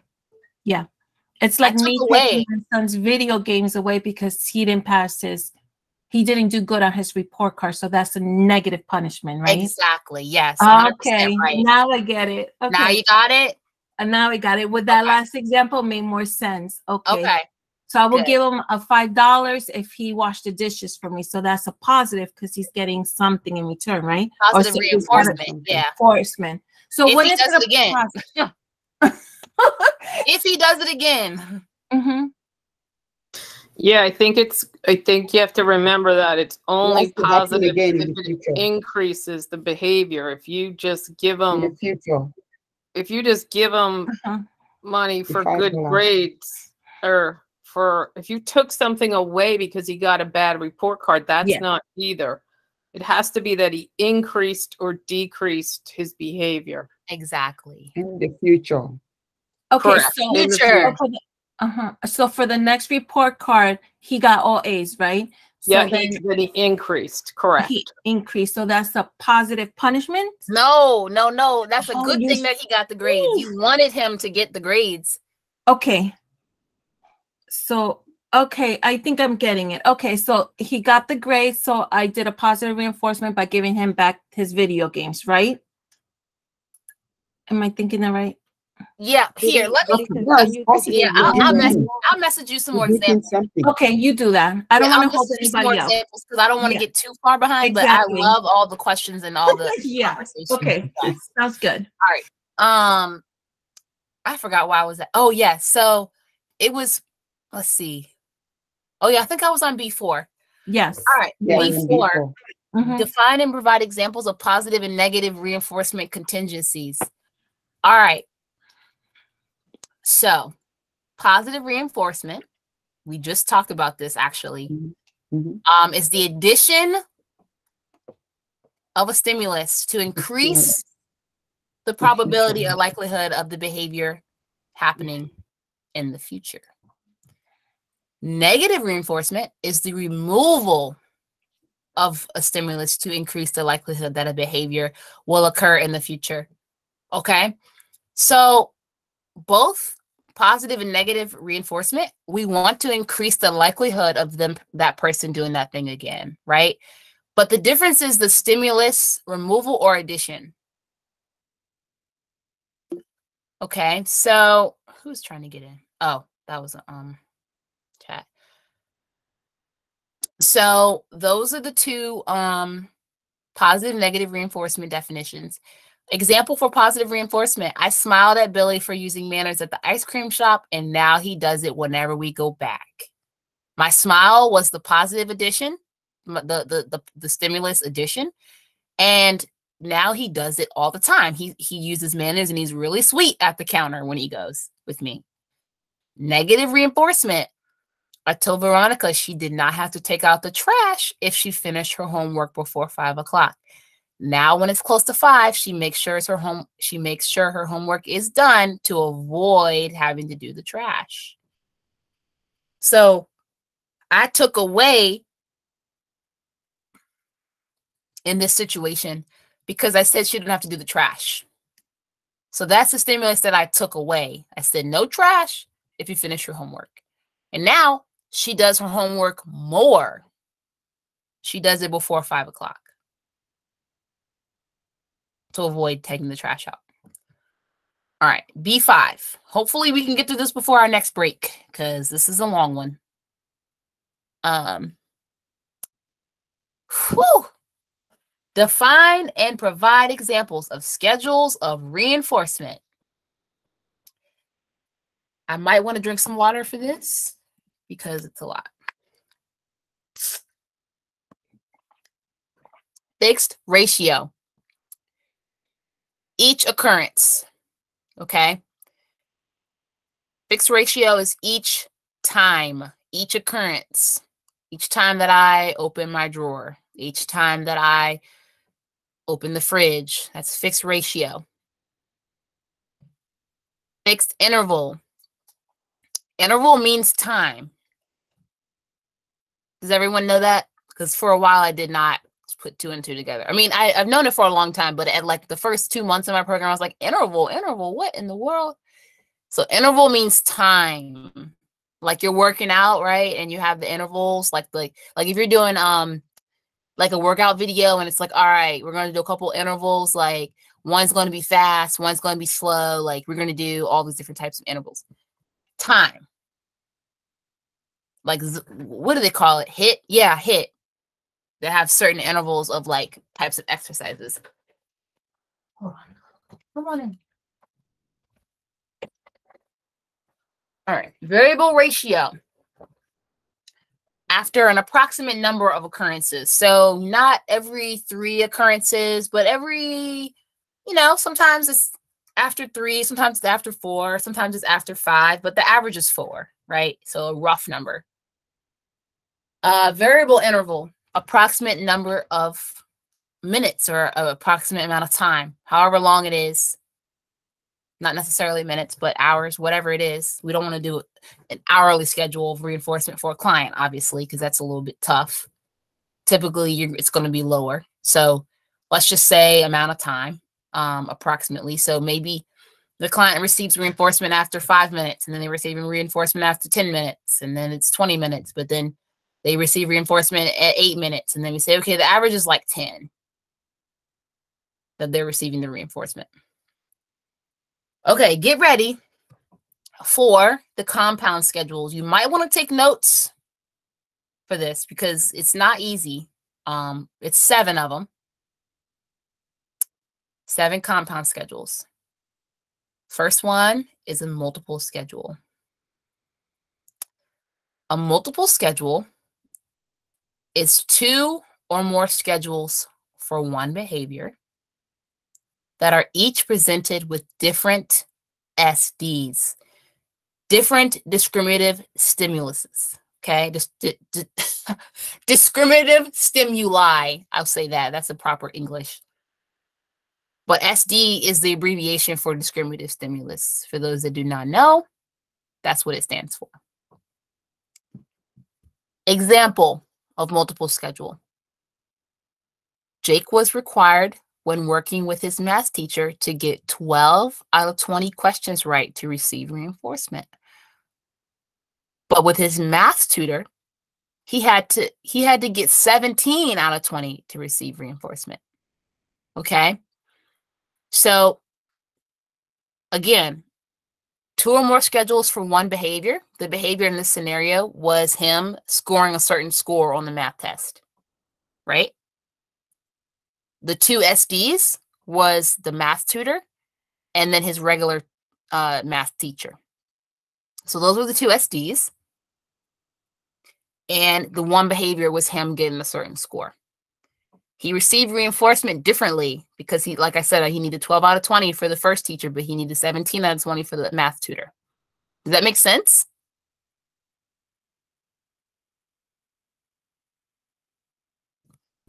Explain that again, Yes. please. You said explain it again? Yes. All right. Two schedules. The two schedules was a 12 out of 20 and a 17 out of 20. Okay. Those were the those were the two requirements, the, the mm. two score requirements, right? Those are the two schedules. For one behavior. Behavior was getting the certain certain score. So his his behavior was I have to get this score and then I have to get this score with her with her.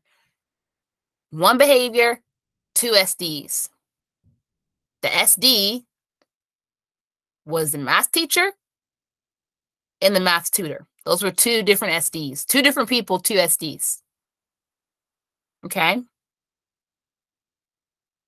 So, in order for him to have received reinforcement, he needed to get different scores for different people.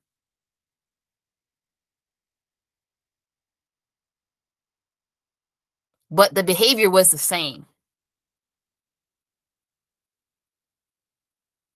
So, I don't think I have a simpler way of that, like than that. Honestly, if someone else, I mean, we're gonna run out of time because our break is to, in two minutes. But if someone else would like to explain that for the next minute or so, or just add something, they can.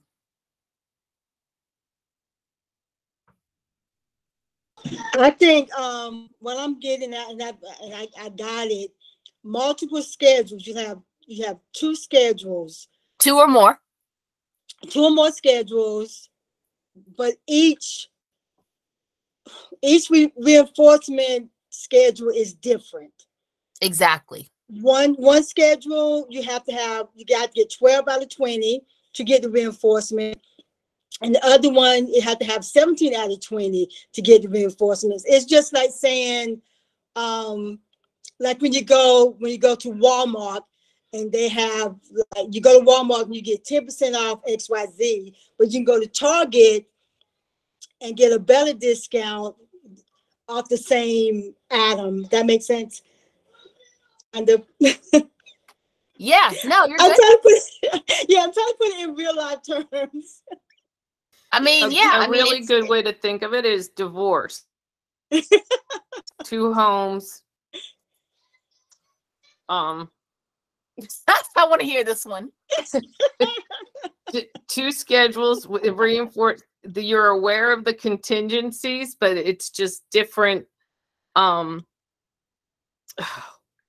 how do I just? Yeah, it, it? it's it's like two home two homes. At Dad's house, you can have ice cream for dinner. and There you go. House, you can have you have to have broccoli for dinner. There you so go. it's it's di- the the behavior's dinner, but the reinforcement only comes when you finish when you do the broccoli or the ice cream, something like that. Yeah, if multiple, that's the way I'll I find would. another one. I'll find another example when we get back from our break. But if you're still here, I did copy and paste the links to contribute if you'd like to do that uh, for your attendance today. Um, otherwise, we're gonna take a break for 10 minutes and I'll see y'all back at 410. Bye. All right.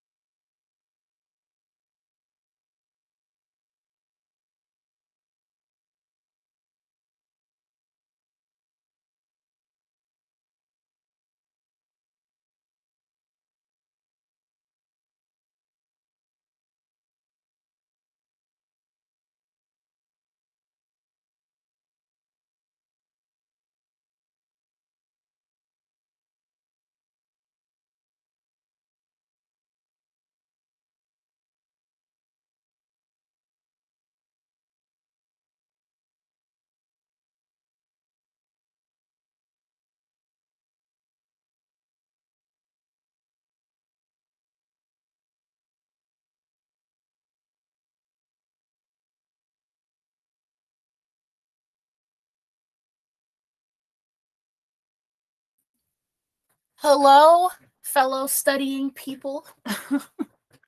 We're back and ready to roll.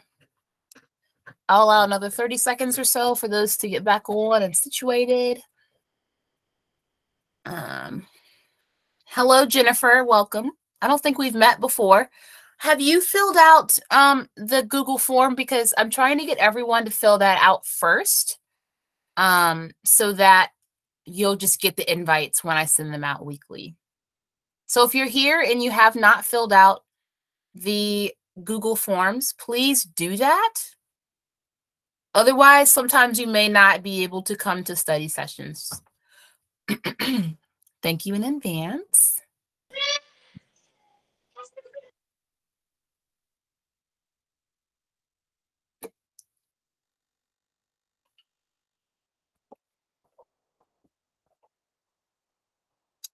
I'm going to look at participants because I'm curious.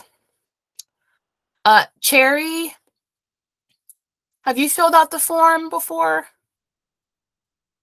I think I filled up some form, but I'm not sure if it's the same one. Okay. It's the the only form you should have filled out was the um Google form for the sign up for those sessions. The only other form is the removal off the list form. Okay. Let me fill it up now. Okay, you don't have to do it now if it's bad for you, but just in the future, if you do want to be invited back, it's easier if you just fill it out so I can copy and paste your email. Oh, perfect. Thank you so much. Yeah. Um, and Victoria, have you filled it out? Or Violetta? Um, no, it's my first time participating. Oh, okay. Well, welcome. Um, just go to the featured section on top. Um, it's really close to the top of the group homepage, and you'll see um in the featured section, and you'll just see the the form there at the top.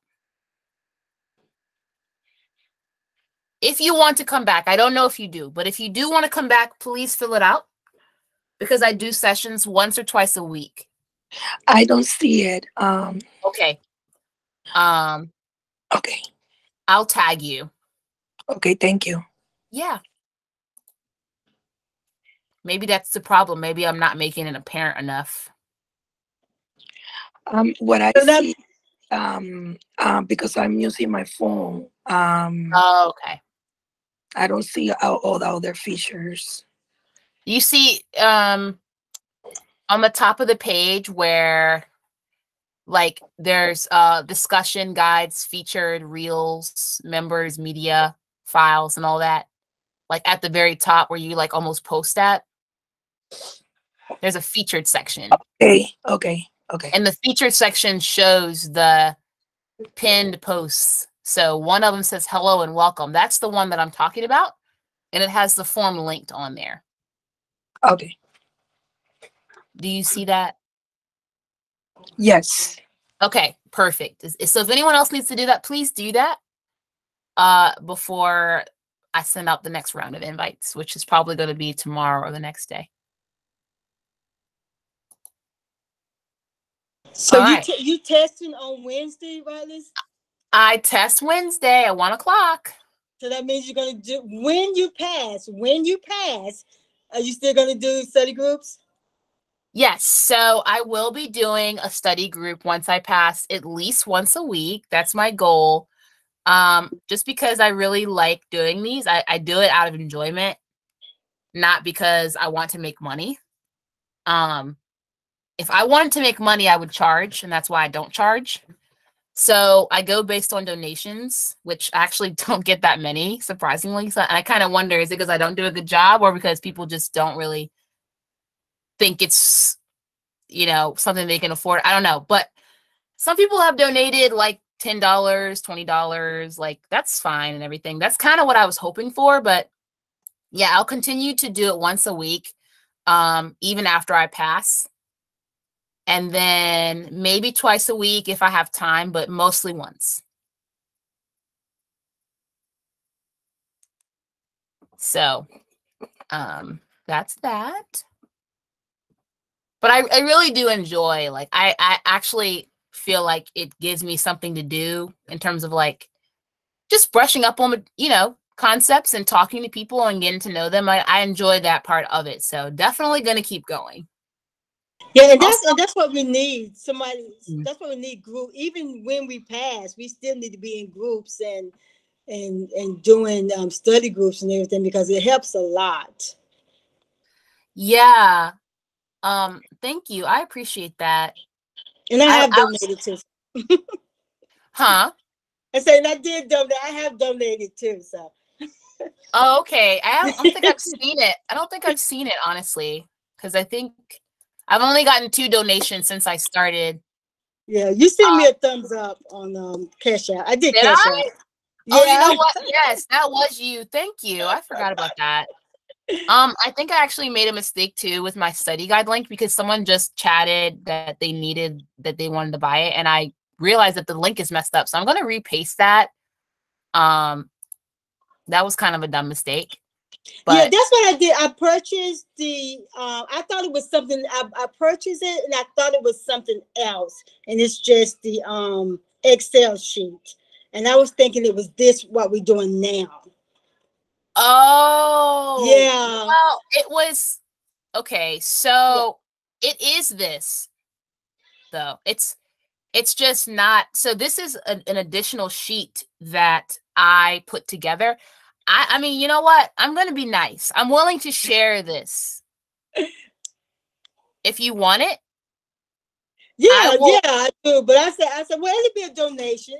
It- It'll be a do- it was it wasn't what I thought it was, but I said I could I donate to it anyway. So Well, here, let me show let me show everyone else because maybe you also you're not the only one that thought that. So let me just so this is what I designed. Um I made a spreadsheet and it's going to be quick because we're going to waste time. But this is what I made to study. So I put together a couple of spreadsheets that had everything in one. Right? So I put all the Cooper chapters together and I listed, oops, I listed all the terms in each chapter in a row or in a column. in a column. I I bought it. yeah. It's a good it's a good thing to have. Thank you. Yeah. Um, and so I can go and check, okay, do I know this? Do I know that? Do I know Yes. this? And this is what I'm doing like um tomorrow.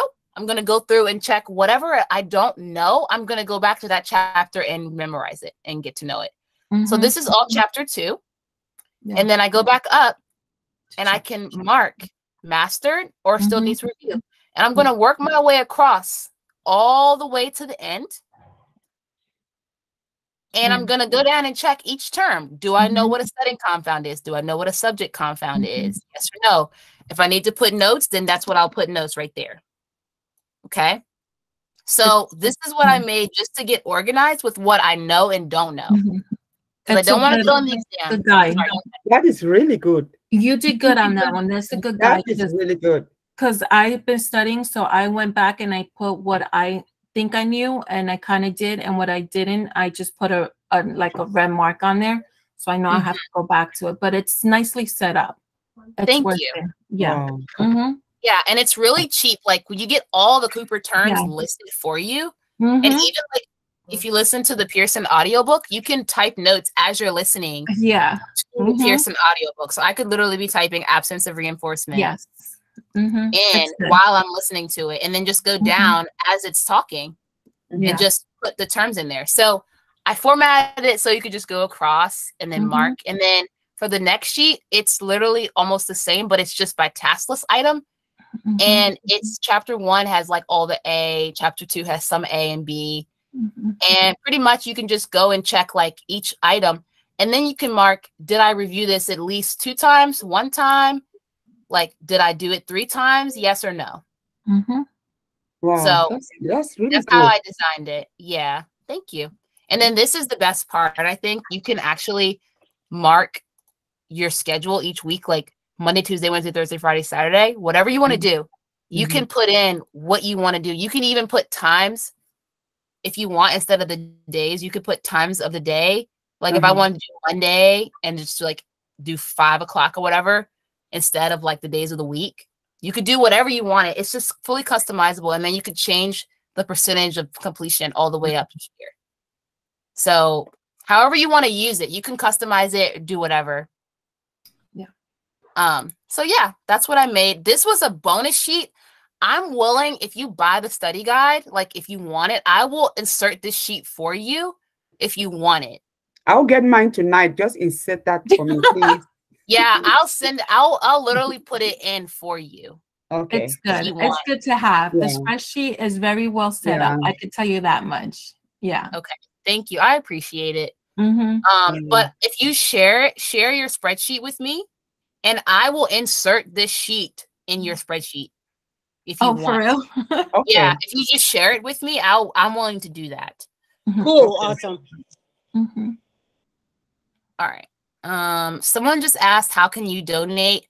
Um, which link would you like to click? Because I can repaste it.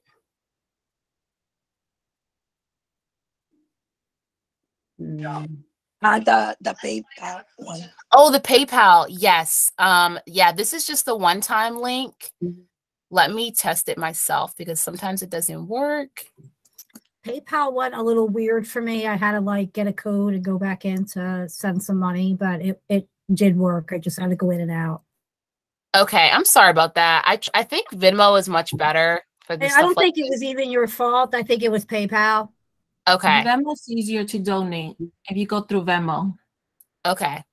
Well, I um just repasted the PayPal link if you need it.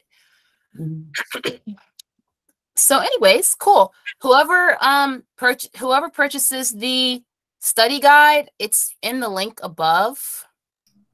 Um and you want me to put our notes from this uh today's meeting in it, I will insert this sheet in yours, but you have to share it with me or else I really have no way of do- doing that.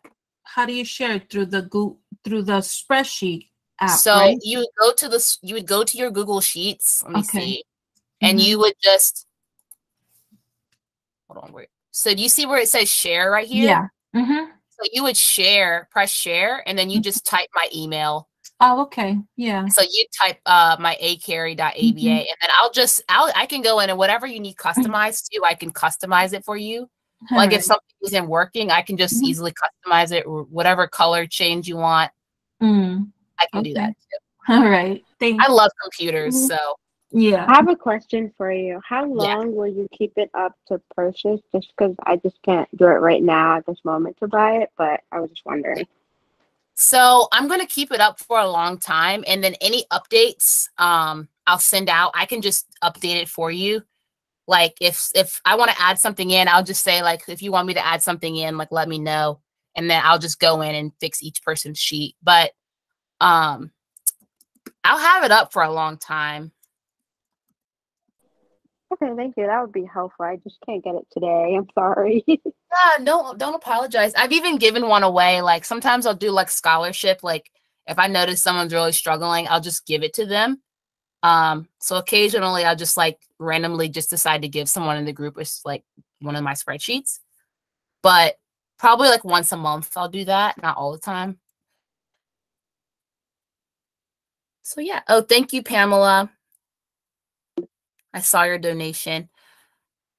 Uh, Crystal, it says won't allow me to purchase. Um, well, I don't really know how else to share the link. I will message you, Crystal, if I have to, because I don't want to waste too much time on them.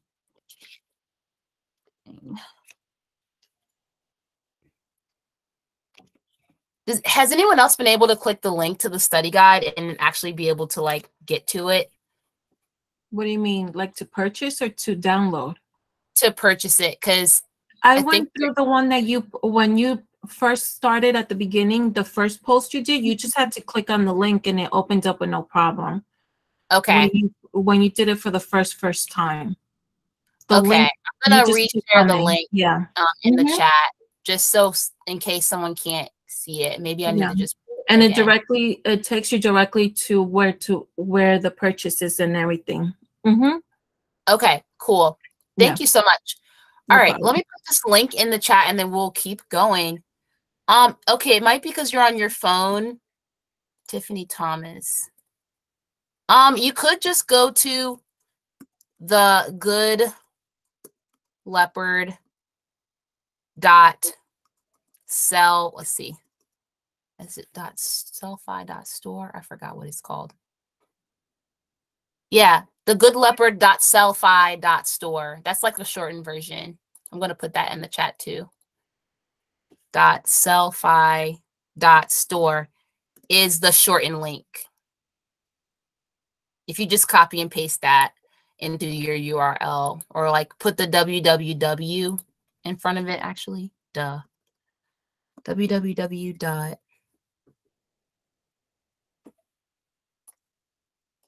All right. Let me know if anyone else has trouble, and then I'll just individually message you the link um, after this. All right. So back to schedules of reinforcement. Um, where was I at?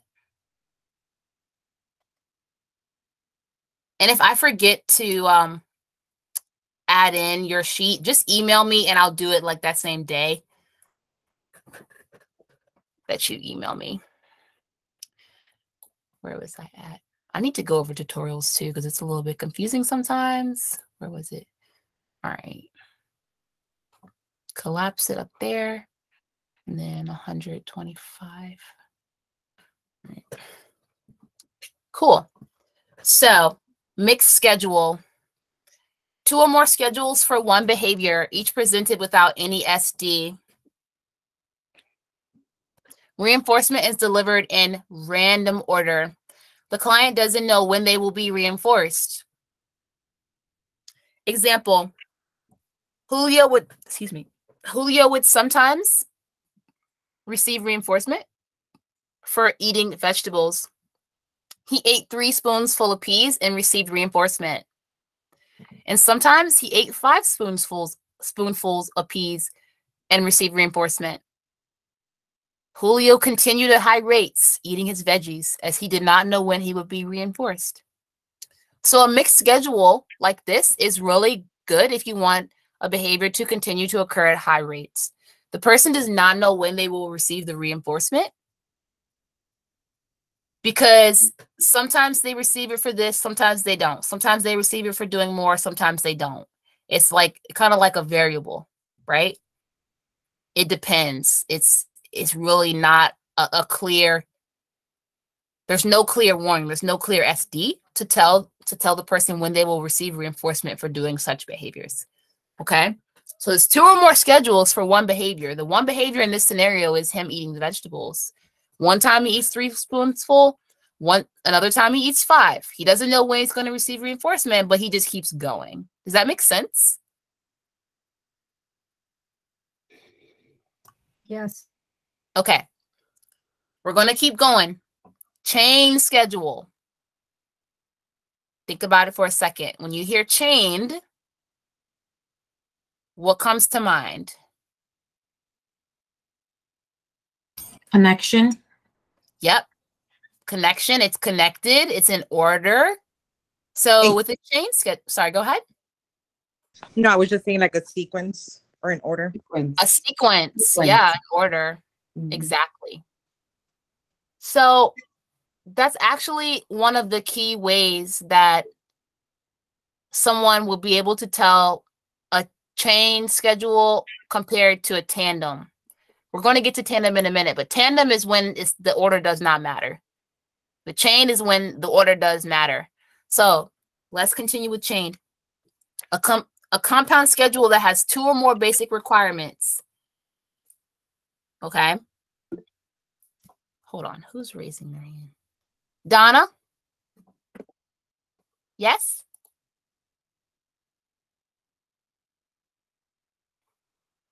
I apologize if I raised my hand by mistake. Oh, okay. um, so a compound schedule that has two or more basic requirements that occur one after the other, also called successive. Whenever you hear the word successive, that means one after the other. Whenever you hear simultaneous, that means at the same time. Okay, so don't confuse successive and simultaneous. Successive is one after the other. In this case, the basic requirements in a chain schedule occur one after the other, and they have a SD for each schedule. So, like we said, there's always a specific order. The first behavior serves as an SD for the next, and so on. Example Following a recipe card my mother gave me to make spaghetti. I put one ingredient in at a time according to the directions. I have an order, right?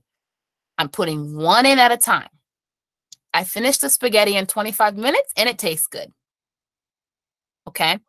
So, one of the keys to a chain schedule is that the person must work through a sequence of simple schedules in order to obtain the sought after reinforcer. So they want they want the end result a certain way, right? We want this food to taste good. That's our that's our goal at the end of, of a meal is we we want we cooked and we want it to taste good. Okay. So that's going to be the sought after reinforcer here. We're working to get to that end. And there is a specific order in which to get there.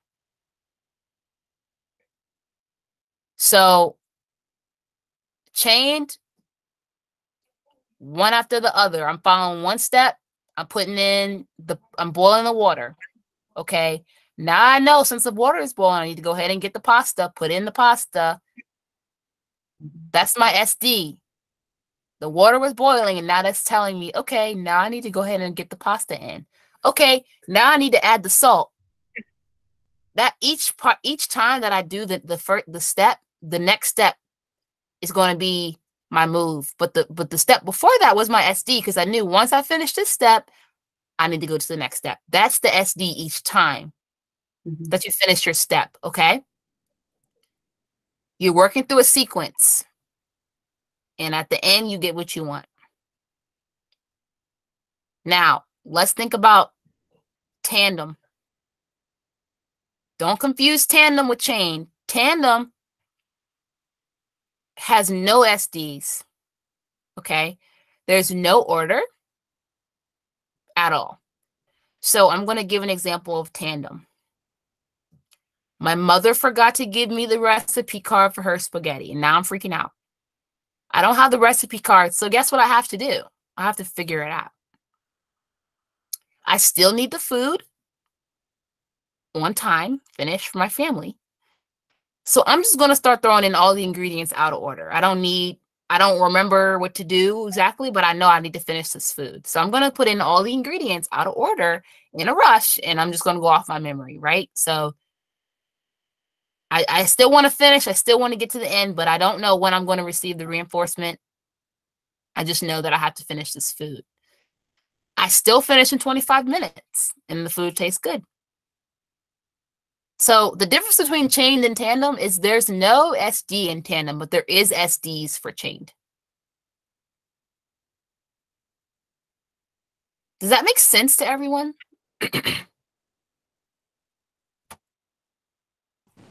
Yeah, Yes. that makes I tried to give simple examples. I don't know if it really co- like fully covers like everything that you're trying to sort of understand about it, but that's a very basic example of a chain versus a tandem. That's a really good example. Okay. Thank you.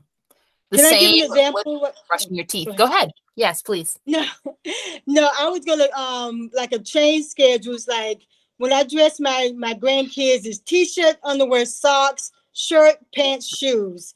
But then when they dress themselves, it's like tandem, like they put the pants on, then the socks on. Sometimes they try to put the shoes on before they put the socks on. So is that like a um example? Um, yeah, that would be a good example. Yeah, that would because I guess I was trying to like make sure that like even though the the, the clothes are put on out of order, like it's I mean it's still fine. Like Yeah. at the at the end of the day, like they're still gonna be dressed. So yeah, I think that would be a good example. Yeah, like at the end of the day, they're still dressed you just with my OCD.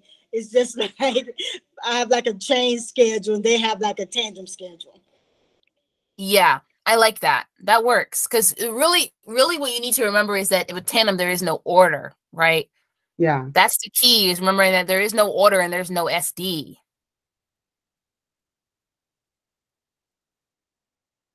With chained, each step is my is my indicator that the next step is coming. Perfect. Okay. So concurrent. Maybe I should zoom this in more. Is this zoomed in enough for y'all or should I make it more big? I can zoom mine in on my Make side. it, make it more big. Okay, I can try that. Let me see if I can do 150%. Okay, that's probably better. Yeah. By the way, those who get the spreadsheet, it, whenever you want to zoom in something, like, yeah, it's like right here, right up top. And then you can collapse the bar um, of all the file edit view insert by pressing this little arrow right here, and it collapses it and it makes it more um, more of the actual content versus like the functions up there. So, sorry, was someone going to say something?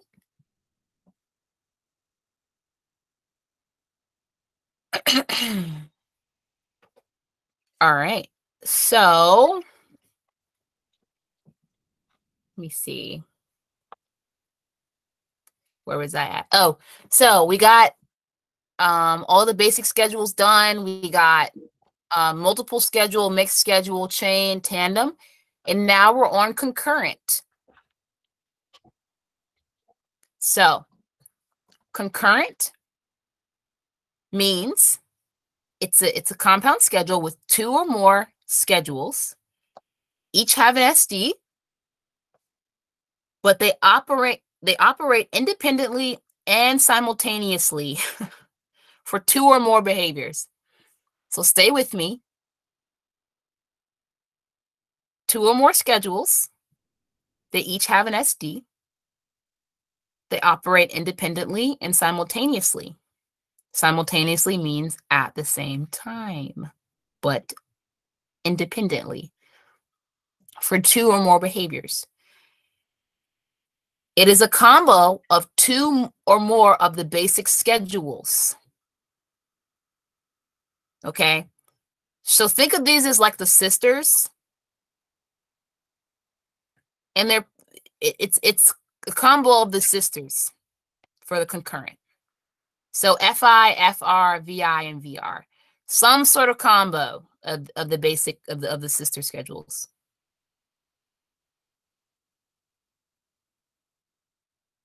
All right. Now, here's where this gets sort of more tricky, but it's going to help you remember it in a way because it's very special from the other schedules. It's different. Um, this schedule is governed by matching law. Now, this schedule is going to give the learner more of a choice. Okay. Whenever I say concurrent schedule, you're going to think of the learner having more of a choice and the learner doing what they think is going to be more reinforcing for them, AKA matching law. Behavior goes where reinforcement flows. That is matching law. Okay. So when I say matching law, that means that the person is going to do what they find more reinforcing, whichever schedule. Here's an example of that. You establish an FR20 or fixed ratio 20, 20 occurrences, plus an FI30 or fixed interval 30, fixed interval time 30 minutes. So FR20 and FI30. You establish these two schedules where the client can either choose to do 20 math problems, which is the FR20, or read for 30 minutes, which is the FI30.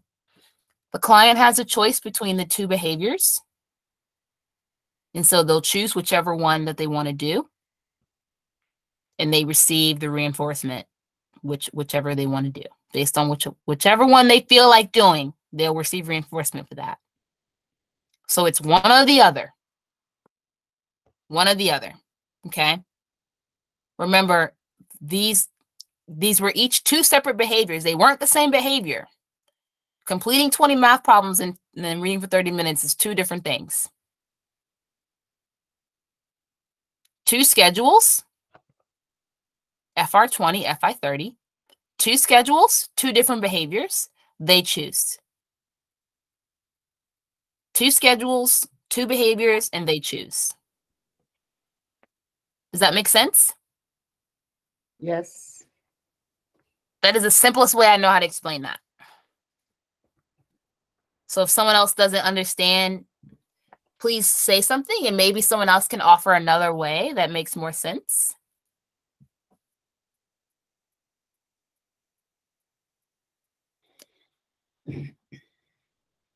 Okay. Very good. Conjunctive. Okay, when you hear conjunctive, do you think of the word and? Because I do. That is one of the key words with conjunctive schedules of reinforcement. And, and, and, and, conjunctive. In conjunction with music. In con- we worked in conjunction with music. We we did work and we had music at the same time. We just think of it with common sense. Like if you're talking in a sentence and you say in conjunction with, you're talking about and, right? Think about it like generalize it like that. Um, same for alternative. Or alternatively, instead of walking around over there, you can read a book. Instead of, you know, or alternatively, instead of yelling at me, you can ask me nicely. Or think think of alternative as or. Okay. So these keywords are going to help you be able to discriminate. I feel like I try to make as many notes as I can about like con- conditional discrimination with these sorts of concepts because it's going to be hard to remember everything but you need to know what for a fact can i can i remember about this thing that's going to distinguish it from other um schedules. So for conjunctive um the key word here is and okay it's a compound schedule on which reinforcement is delivered when the requirement of both a ratio schedule and an interval schedule is met simultaneously or at the same time. Example, I set a FI2 for two FI two minutes in an FR 100 schedule. The rat must press the lever 100 times and press the lever again after two minutes goes by. So they had to do both things to receive the reinforcement. Pressing the lever 100 times and pressing it after the two minute mark. I combined two schedules and they both had to be met in order to receive the reinforcement. Okay, that's conjunctive. Alternative schedule. It's a compound schedule in which reinforcement is delivered when the requirement either a ratio schedule or individuals eh, sorry ratio or interval schedule is met. The either or schedule with a ratio and interval. So either one they can meet either one they want to meet and they get the reinforcement. For some reason i don't have an example for that. I think i meant to but it got either deleted or i just forgot to do it but um can someone think of an alternative schedule example Um. mm, would it be like either you wash the dishes or you do the laundry? Would that be? Um let's see well it's for. either a ratio schedule or interval schedule so let's Um. see more specifically with the laundry um. like if you fold a shirt um or you um do let's see you fold a shirt or you sweep for 10 minutes Okay. And I whichever one. I think I have one. you Okay. do Mhm. Uh, you can uh you can say you can um you can have a break after you either read you can read 30, 30 pages or you can read for 30 minutes. right i like that so Yeah. either um one either one means that he'll get the reinforcement right either one that he chooses he will receive reinforcement whether he reads 30 pages or whether he does the other thing i forgot read for 30 Read, minutes thir- yeah read 30 minutes, yes. Yeah, so that's an alternative schedule. It's pretty simple, right? All right. So I know don't don't slap me for this. But I'm going to scroll up and I want to ask someone in the group to explain what is a concurrent schedule of reinforcement. Um, um, you're doing two things at the same time. You said the keyword is and, so you're reading and you're completing the questions. concurrent, concurrent, not Oh. conjunctive. Oh, okay. Hold on. That's okay. That's okay. Um, concurrent is Concurrent is operating matching law. independently and simultaneously. Uh-huh. Um, the client has has Two the choice between two behaviors. Mhm. Um, Good. and it's So, also combined example- with sister schedule. I Go didn't ahead. hear anything. There was two, I think two people talking at the same time. I'm not sure. All right. Someone else was talking. Go ahead.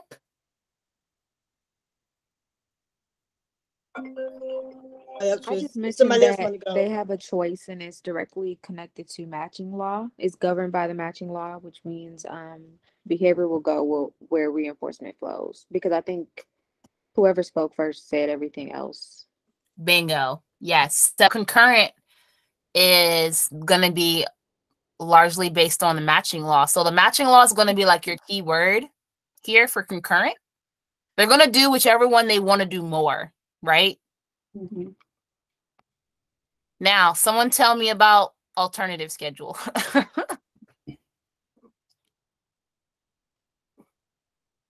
Okay, let me try. Let me try the alternative schedule. Okay, go ahead. Alternative schedule has um, it's it has it deals with the compound schedules, and then um either ratio or interval schedule, um to be met for for them to get the reinforcement, and then um um so an example would be um you either read for 10 for 20 minutes or you do 30 pages or do 30 pages of reading.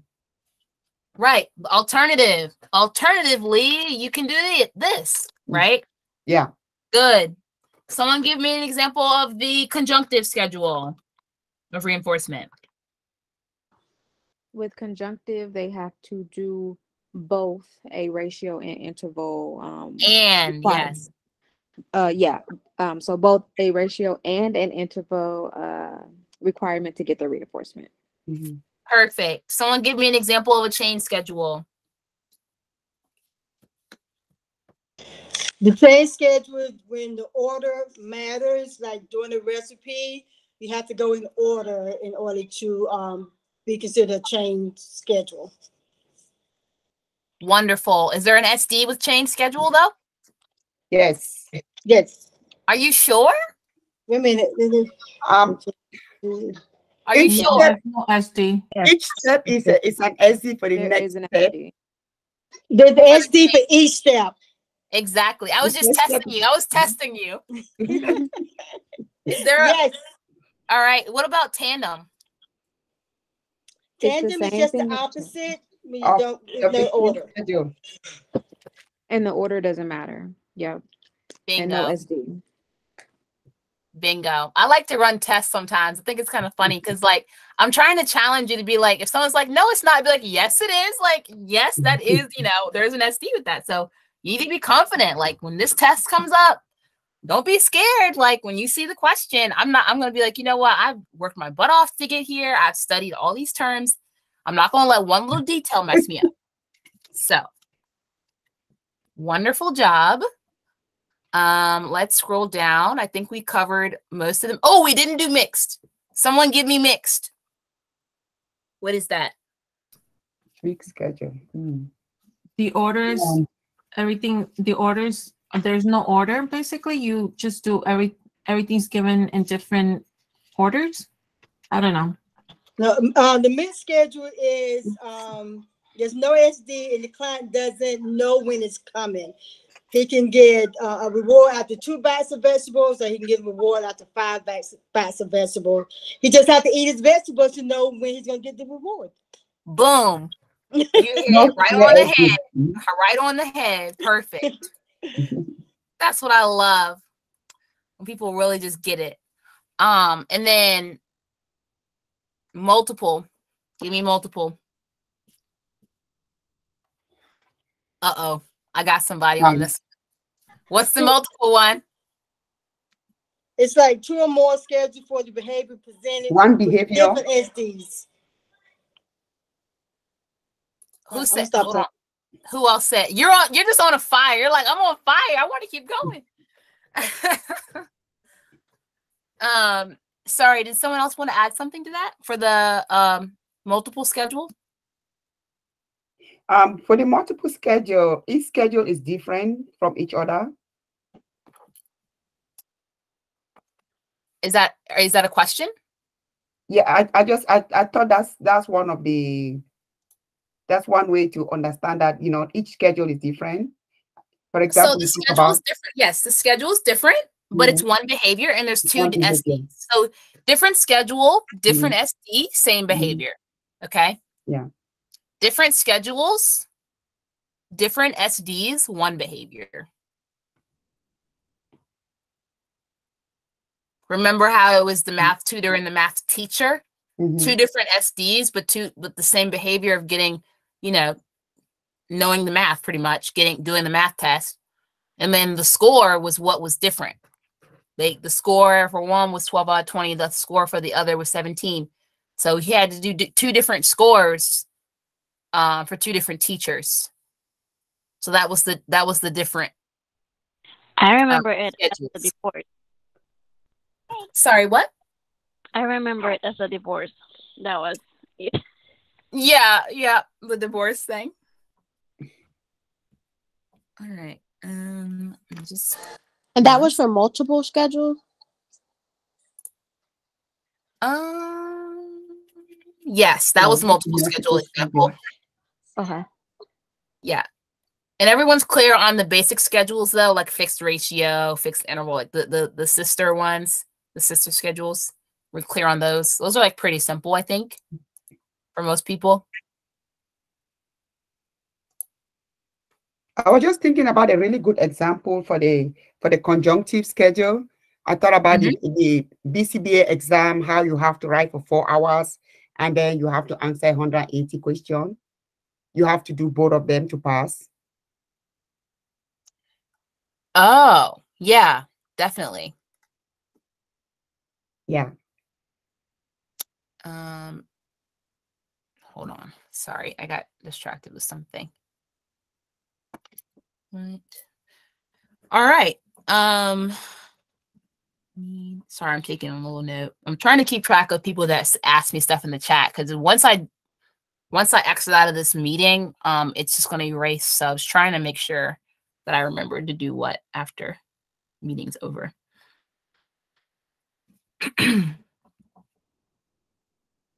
take a take a, another 30 seconds and just soak in all the schedules if you can. I'm gonna move this up some more.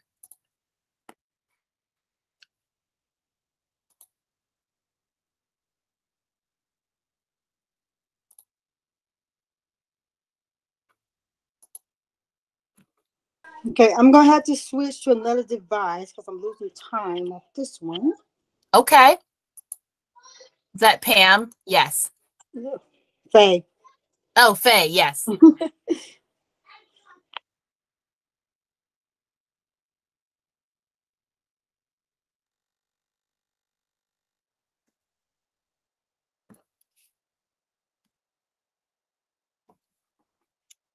Second.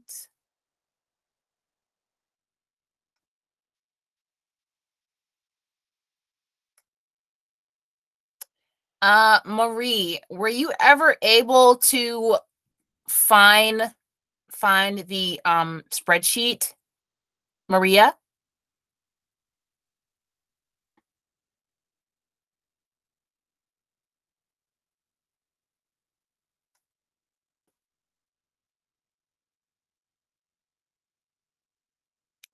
I don't know if she's still here or not. Yes, she is, but I don't think she can hear me. Oh, were you ever able to uh is your sound working? Were you ever able to find the spreadsheet? I was trying to make a note of who needed me to send them what.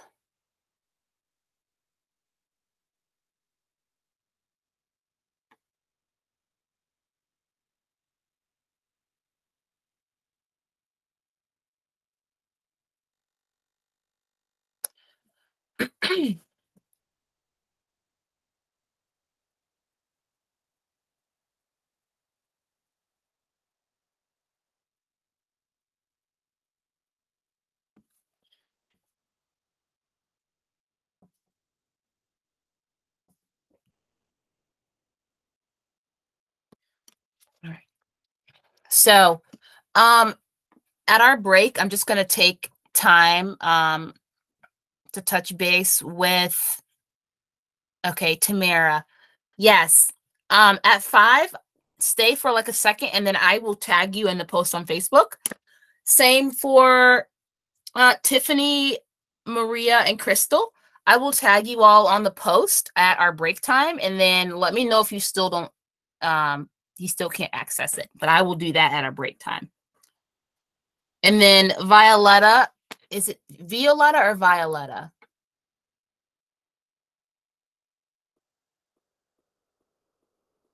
I don't want to say it wrong. Mm. All right. Um, okay. Great. So we're going to take a break in about three minutes, but let's keep rolling. Um, let's talk about positive. Okay, so B6, let me just back up. We did schedules of reinforcement, and now we're going to move on to B6 to defi- define and provide examples of positive and negative punishment contingencies. Valerie, let me put that down. Valerie, I got your message. I will do that as well. All right. Um, define and provide schedule positive and negative punishment contingencies. Excuse me. Positive punishment is the addition of a stimulus to decrease the probability or likelihood of a behavior occurring in the future. Again, punishment discouraged. Punishment is discouraged. We don't want to see any more of that. Okay. The positive part of punishment, the positive punishment is just the addition of a stimulus. If we talk about Negative punishment, it's the removal of a stimulus to decrease the likelihood that a behavior will occur in the future. So we don't want this to happen again. So we're taking something away. Okay. So negative punishment, taking something away to decrease the likelihood. Positive punishment, adding something to decrease the likelihood. Positive punishment example I gave Billy a look of disapproval for using a rude tone at the ice cream shop. And now he does not act rudely when we whenever we go back to the ice cream shop. In fact, he even smiles and uses more manners. I decreased the likelihood that he would be rude because I gave him a look of disapproval. Okay, that was positive. Negative punishment example. I told Veronica she had to wait until next weekend to go to her friend's house since she skipped class at school today. Okay. So she couldn't go. I took away the, the, the chance for her to go to her friend's house because she skipped class. I don't want her to continue skipping class. So I took away her chances to go to her friend's house. That was the negative part. Now, there are some positive punishment and negative punishment interventions. Positive punishment interventions could be reprimands, response blocking, uh, contingent exercise. Some negative punishments could be um, overcorrection, timeout procedures, non-exclusion. So like non-exclusion as in like they're with the group, but they don't get to do something with the group. They just they're just there. Whereas if I said exclusion, I'm removing them from the group where they won't where they will not receive any reinforcement at all. They're they're going to be punished because I'm putting them I'm excluding them and they're going somewhere else so they don't get to be a part of the group. And also response costs. When I say response costs, that could mean anything that's going to cost me for doing what I did. So, let's say I was speeding and so I got a ticket. That's response cost. It costed me money and time because I was speeding and it's a punishment. Okay. So response cost is really all about what does it cost the person for doing that thing and it's to decrease the likelihood that they'll do it anymore. Okay. So we're going to pause right there. We'll talk a little bit more about B6 um, when we come back from our break at 510 or 511. Right now, I will go ahead and send or tag the people that asked me to for the study guide on Facebook. So be looking at your notifications in the next second. I will be doing that now.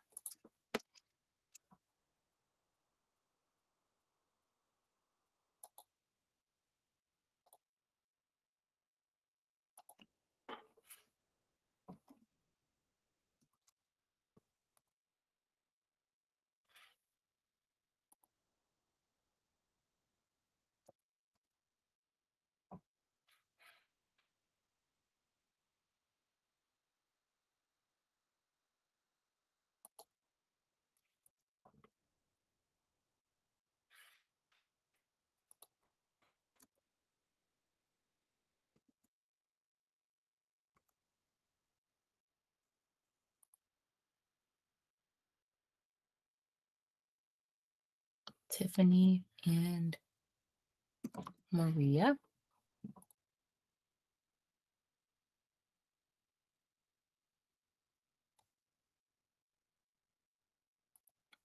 Mm.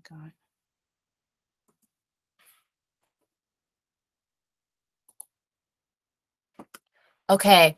Um, I have tagged Valerie, Crystal, Tiffany, and Maria on the post to buy the study guide. It's going to just be above. Um, and you just click the picture and it should take you straight there.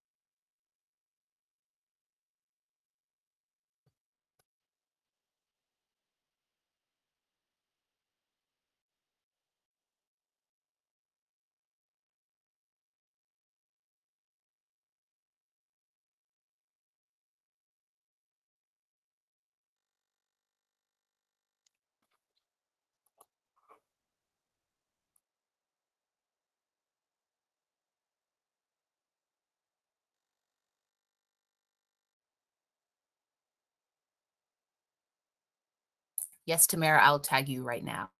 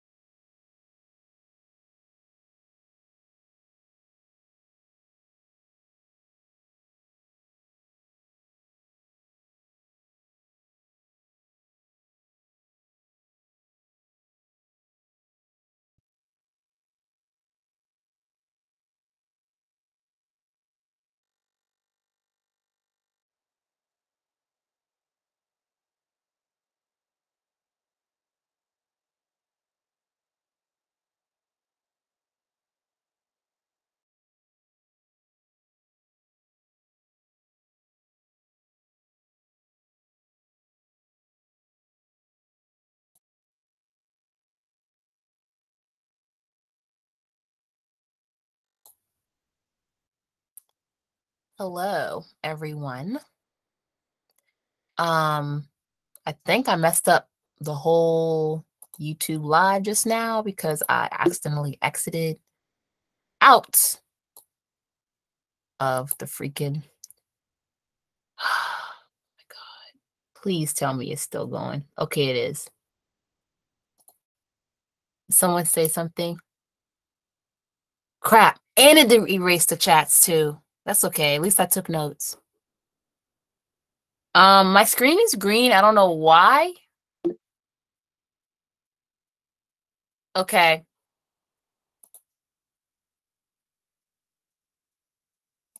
You aren't sharing anything on my end, but I can hear I you. can't I can't hear anything. Um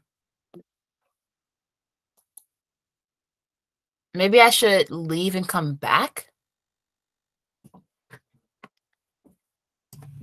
Just leaving and come back because you're the um, person running the meeting. Does that take everybody else out of it? Mm-mm. Okay.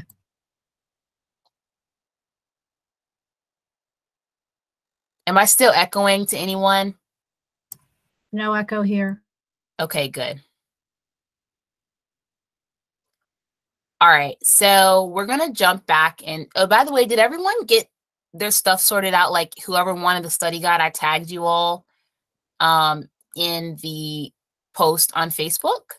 So hopefully you got that.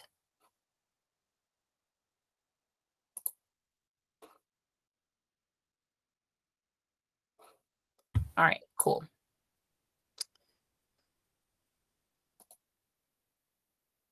Let me share my screen. I am going to use. Oh my goodness, what in the world is going on?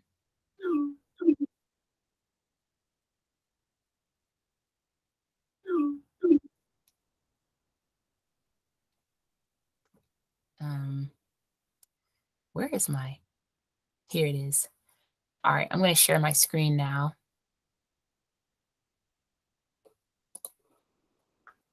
I'm going to transition from my Google Sheets to a Quizlet because only certain sections were filled in. I'm going to fill in all the sections, but I just don't have it all filled in right now. So I am going to share a Quizlet that has the same thing that I would probably just put anyways.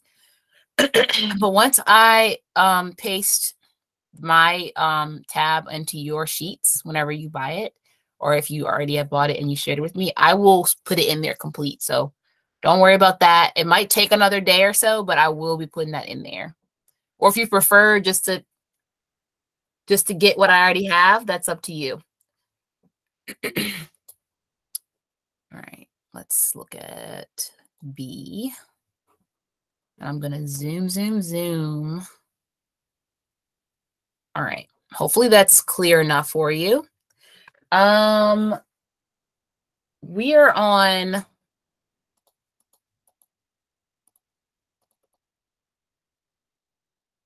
positive and negative punishment B6. So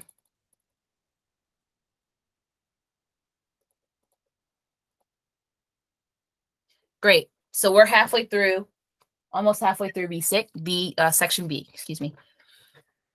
All right, so we talked a little bit about um, what positive and negative punishment is.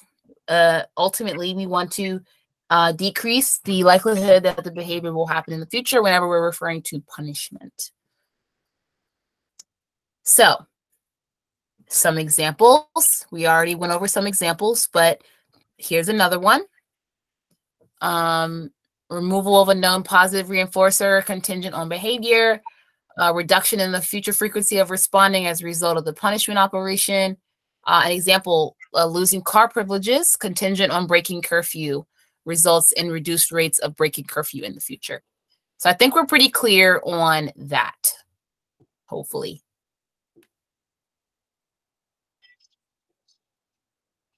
Move on to the next one. Where is my tab at? Cannot find my tab because I have a million tabs open. Um, Where in the world is it?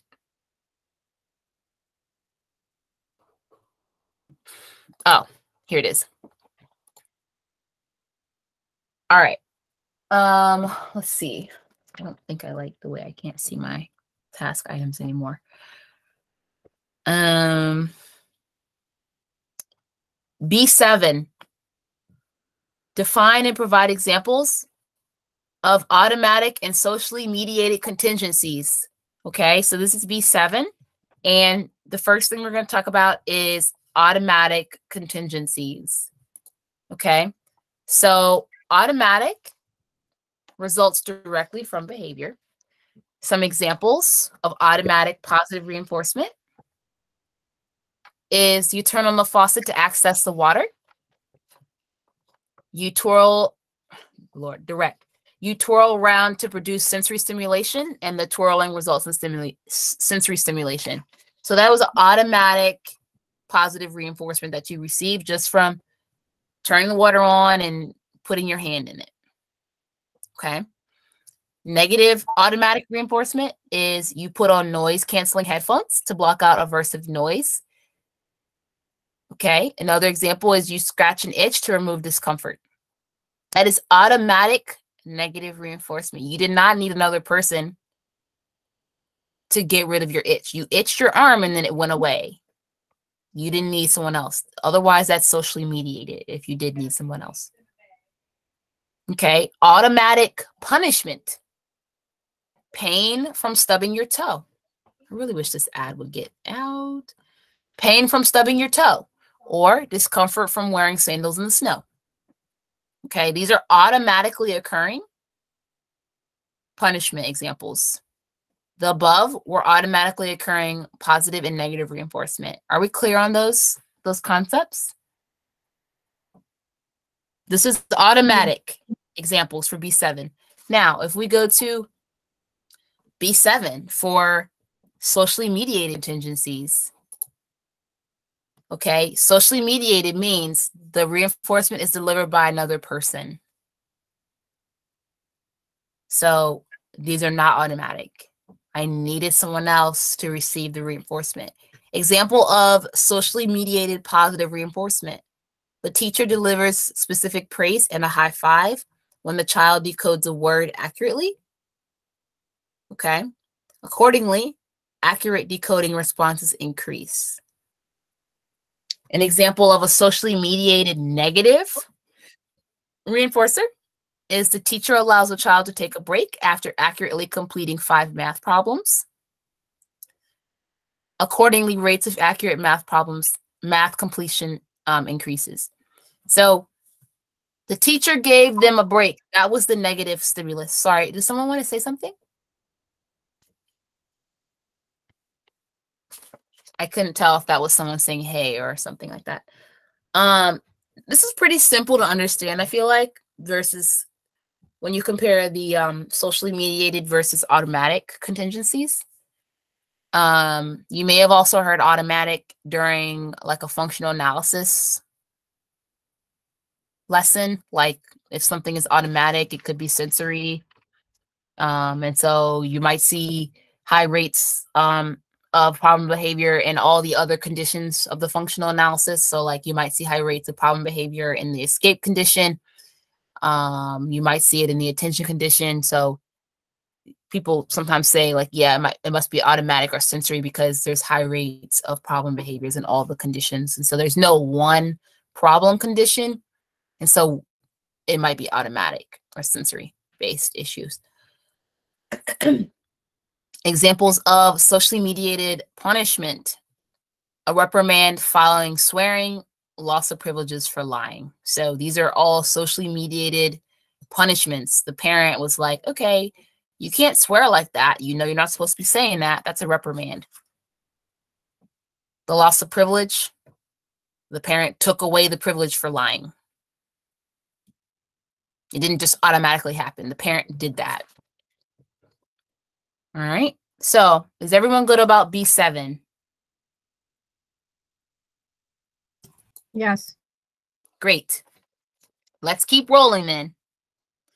B8. define and provide examples of unconditioned, conditioned, and generalized reinforcers and punishers.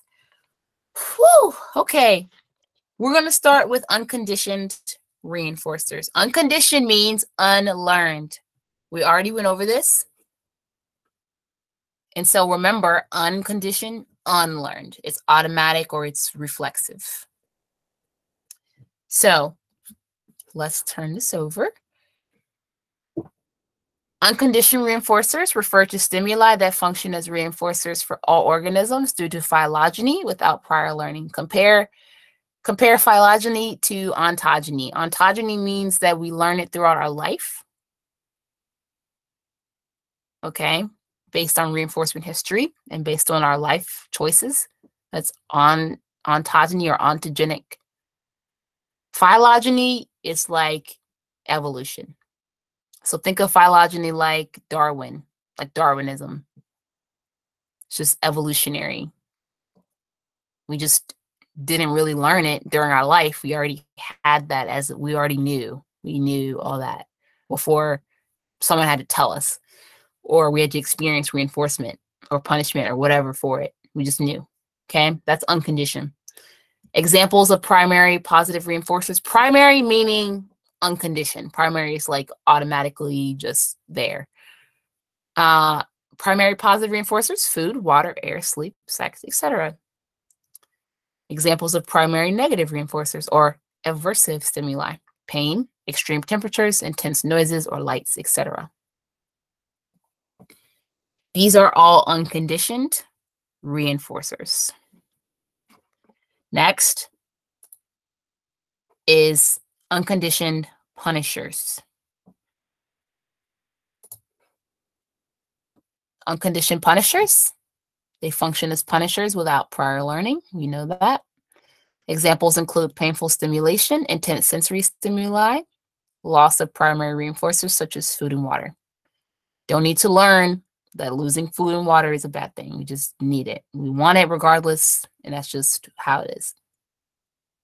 Pain, we don't learn about pain, we just experience it. We know it's bad because it means that we may not survive and that would hurt our species development. Okay, so these are unconditioned punishers. We just talked about unconditioned reinforcers and now we just did unconditioned punishers.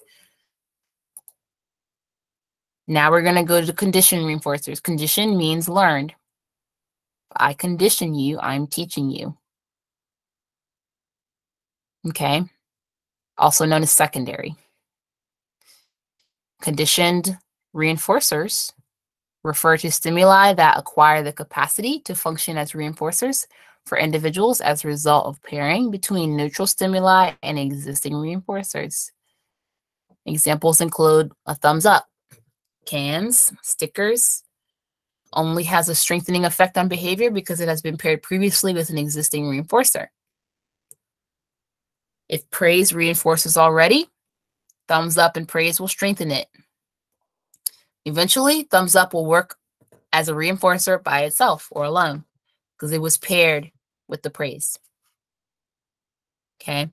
So thumbs up could have once been very neutral, but it was paired with praise. And so now thumbs up equals praise. And now it's conditioned for the individual to to see it as reinforcing. Um, this sort of reminds me of fading or least to most, most to least. Um, whenever I just think of like, whenever you want a learner to be like not as not as dependent on you praising and saying all these things and you could just give a simple thumbs up and it's like less work and it's probably more likely to last because it doesn't require as much praise. Um you're sort of fading out the necessity of the praise to give the person a reinforcer. You could just give a thumbs up. So it's more likely to last throughout time if we can sort of draw back the intervention that we initially start which is more you know intensive and we're maintaining it versus when the client leaves, you don't really want them to have to keep this intensive program going because then it just won't last. We want to fade back the the more intensive um, things. or interventions. All right, condition punisher. We know what that is. It's a punisher that was learned through reinforcement history, right? So examples include reprimands, um, an error message, loss of secondary reinforcers such as money, tokens, preferred tangibles, hearing the word no, like no, um, like maybe you do something and your parent tells you no, you're touching something you're not supposed to, etc. Um, the word no would have a prior history with the learner that a loss of reinforcement will occur. So they've learned that hearing no is like, oh no, I'm about to get in trouble or something like that. Um, does that make sense so far? So, so far we've done unconditioned reinforcers, unconditioned punishers, conditioned reinforcers, and conditioned punishers. Now we're going to be moving on to generalized um, reinforcers and punishers. We're still on B8. All right. Examples of generalized reinforcers. They are effective across time and place as a result of pairings with many other reinforcers, such as money.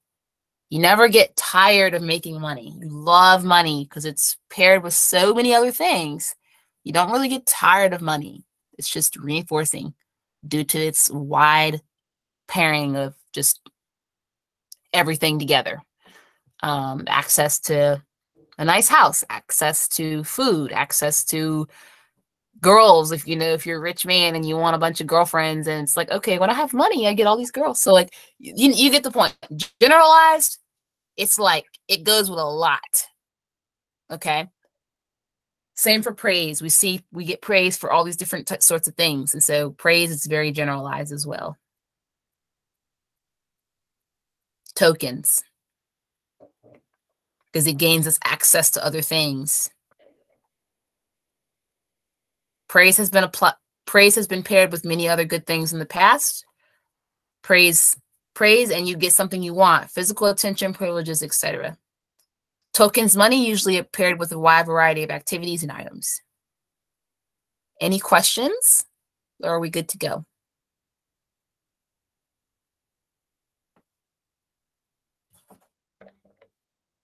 All right, we're rolling. Define and provide examples of generalized punishers. We're still on B8.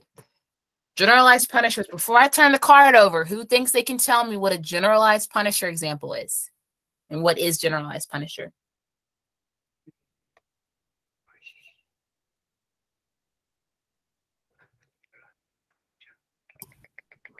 It's a punisher that's across all different environments. Yeah, it's happened. It's been paired with with many things, right? So, someone, would you like to give an example of what a generalized punisher is? Mm, Hmm.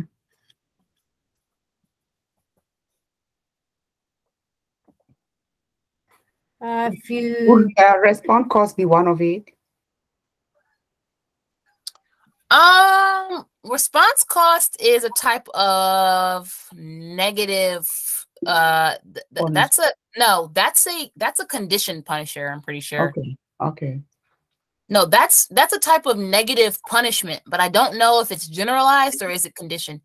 Uh, Jolanda and Tamara, do you want to add something? Would a fine be generalized punisher? A fine? Yes, I think so. But it depends though, like what kind of fine, because Like a late fee added to your bill when you don't pay your bill on time? Yeah, I was I would think a late fee would be a great category for like a generalized like yeah, like response cost, yeah. Mhm, Like response Negative. cost. hmm Negative, that's a negative punisher is a late fee. No, that's a positive punisher because you're at it because you have to pay money, right? Right, Or no? yeah, you- Well, They're Wait, taking money no, from they're you. taking your money. They're They're taking money from you. taking money from you. Yeah, so You're taking it, it's negative. That's a negative. because you lose you lose money. Yeah. Mhm, So that's a negative punisher, which is also um, a response cost. mhm. Jolanda? Um, I can't I can't think of anything right now, but if I think of an example, I'll, I'll add on to it. Okay. All right. So social disapproval reprimand. That's a very generalized punisher. Um frowning at me. That's a generalized punisher because many people can frown at you over your lifetime Yeah. for a variety of things. And you would know that this doesn't feel good. So that's going to be a, ge- a very generalized punisher. Um, if you're having trouble remembering examples in the future, just what has been paired with a lot that you don't see as something that you like? Like what's what's something that you don't like that's been paired with a lot? That's sort of like what you could ask yourself if you're trying to think about it. All right. That was B8. We feel good about B8. We're on B9 now. All right. B9. Define and provide examples of operant extinction. Operant extinction is withholding or discontinuing the reinforcement of a response. So you're basically just not giving that person reinforcement at all for that behavior. And eventually, the behavior will go to pre reinforcement levels. So, like it never even happened. Um, although you know there's there's spontaneous recovery extinction break et cetera et cetera. But eventually you know the behavior will go to pre-reinforcement levels. Um it's also a gradual reduction in responding as a result of an extinction procedure. That's another definition okay so that's ex- that's operant extinction. But we must actually we have to go over examples because that's in the task list it says provide examples. Okay i got an example. If i work from home um but let's look how about this? I was working at the office and i was getting all of my uh client my all my notes done on time and everything like all my notes were done turned in everything covid came i worked from home and then all my notes were not getting done on time because I was so comfy at home. And really, what I wanted was I wanted to work to go home. Like I was at work doing my notes, and I was like, oh my God, when I get home, I'm gonna get a treat. I'm gonna watch TV. I'm gonna do all this stuff. And then when I started working from home, I had all that. I had the TV, I had everything I wanted, and then I stopped doing my notes because I didn't really care about being reinforced because I was already at home. And so my t- finishing my notes on time underwent operant extinction because I no longer really worked for those reinforcers because I was already at home. And so there was really no motivation for me to finish them on time anymore. If that makes sense to anyone, hopefully it does. That's the way I like to remember it. Yes. Okay. Good. Happy that that makes sense. Um does any is anyone not clear on operant extinction?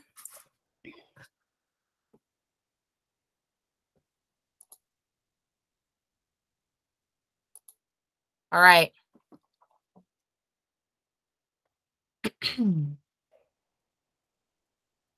well, I guess we're still on B9.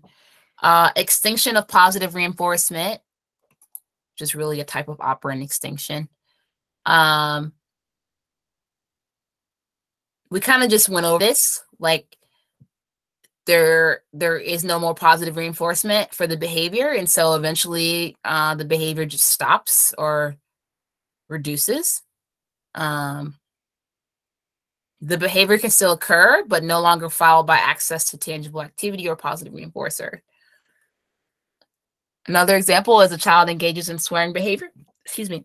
A child engages in swearing behavior to gain access to uh, parental attention. During extinction, the parent withholds attention contingent on swearing. Rates of swearing gradually go down. Okay. If the function of behavior is parent attention, this will be attention extinction. If the parent and child were in a conversation and the child swore, the parent did not acknowledge the swearing and just continued with the convo. They kept talking like the swearing never happened. You're not delivering attention, but you are not withholding all attention. That would be negative punishment. So I guess it was just giving an example of like how you wouldn't completely ignore the child, you just wouldn't address that specific thing.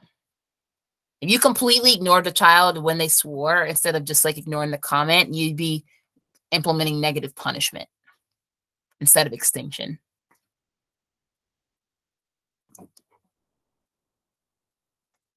Can you explain that again? So in this example, it just gave an example of like negative punishment versus implementing uh, attention extinction. Uh-huh. Because if so, the parent ignored when the kid would swear Mhm. or say a cuss word, and then instead of ignoring the kid talking altogether and like delivering no attention, you just ignored the one comment. Oh, okay. If you withheld all of your attention, like let's say the child was talking to you and they said, Oh yeah, oh shit, like cussing or whatever, and then you walked off and you like would not even look at them, you wouldn't do anything with them, that's negative punishment. Hmm. Because you took everything away. Versus attention extinction in this case was just like you're withholding the attention for that one thing. You're not giving them absolutely nothing after they swear. Does that make sense? Yeah, that makes sense. Yeah. Yeah, I'm hearing that for the first time. I didn't know anything about that. I'm just like, wow, okay. About wh- which one? Attention About extinction? yeah, about the uh the punishment. uh, That's that if you are actually ignoring the child and any or you you're actually ignoring all behaviors that is exhibited at that particular time, it becomes punishment rather than rather than just uh, ignoring the one behavior that you really don't want. Right, because you were just focusing on that one thing. Mhm. You're focusing on that one behavior. You're not focusing on them talking all together. Like you Okay. just wanted them to not cuss. And so it's sort of like separating out them just talking to you versus them saying something you don't want to hear Okay. based on attention. Yeah. So you you you've teased it out. Okay. if I can re- reword it that way. Um, extinction for negative reinforcement. This is still all operant extinction. This is uh, sub subtypes of operant extinction. So if I want to negatively, if I want to implement extinction for a negatively reinforced behavior, this involves preventing avoidance or escape from the relevant aversive stimuli in order to reduce response rates. This is escape extinction. So if a kid is trying to get out of work, they're, you know, you're going to keep presenting the task to them. That's escape extinction. You're not going to let them get out of the task. You're going to keep presenting it. It doesn't matter what they do. You're still going to have them try to do the work. So that's escape extinction. You want them to stop trying to get out of the work. Example here, a student engaged in destructive behaviors to escape from academic tasks. The teacher implemented escape extinction by immediately replacing destroyed materials and maintaining the expectation for the student to complete the task. Destructive behaviors no longer produce escape and gradually decreased. The student was given a new paper over and over every time, no matter how many times they ripped it up. Does that make sense? These are all different examples of um, different ways to put a behavior on extinction through keeping the expectations in place um, so that the person does not escape. And therefore, you're putting their escape behavior on extinction.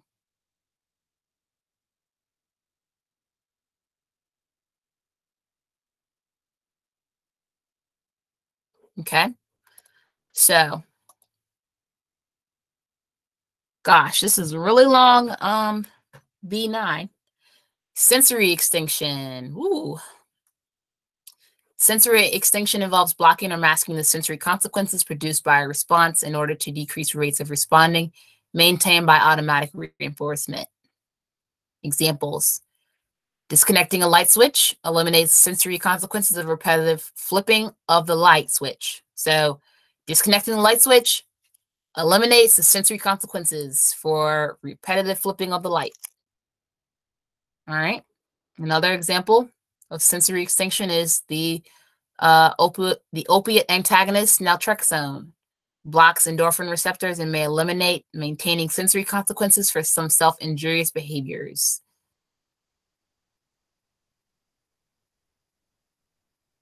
Helmets may reduce sensory consequences that maintain some forms of head banging.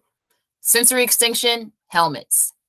We don't want them to feel that that that that sensory that they want from banging their head. We're going to put the helmet on. That's sensory extinction. We don't want them to, to want to go ahead and keep banging their head because that's not safe. So we're going to put a helmet to implement sensory extinction for that. Assuming that's the actual reason why they're head banging in the first place. Um, another example is trying to spin a spinner on the desk for the sound. For sensory extinction, they carpeted the individual's desk and chair so that no sound would be produced.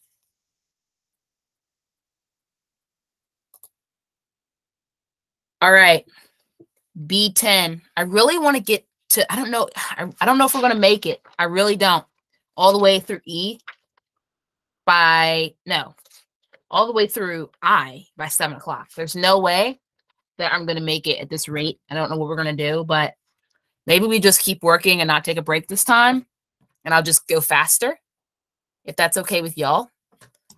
Um, or or the next like the next study session just continue the task list and we get through what we get through so everybody has an understanding because you know some of us struggle with some stuff so instead of Yeah. trying to rush maybe just next time we have it wherever we stop we'll pick up there and get through what we get through for the next session Yeah, yeah, I definitely want to get through. I just don't That's know because I take my test Wednesday. I'm not doing any more sessions until like probably that Saturday or Sunday after. So it would be like that next week. all right hmm, well That's that fine. sounds okay Okay. I'm gonna I'm gonna go Than to, faster. over, than to overwarn you out, you know, you have this exam coming, it's not far away. Doing the whole Yeah, task. I don't want to wear easy. myself out too much. Yes, it's it's a lot. Yeah. So I'm gonna like I said, I'm gonna go as fast as I can. But I think maybe we should just work through till seven and not take a break this time, if that's okay with y'all. Yes. Um, or if you still need a break, just go ahead and take it and then watch the uh YouTube. You go back and look at it. All right. B10. Define and provide examples of stimulus control. Stimulus control occurs when the probability of responding is altered by antecedent stimuli, situation. The likelihood of a response depends on the stimuli that are present. So something happens more when something is here versus when it's not.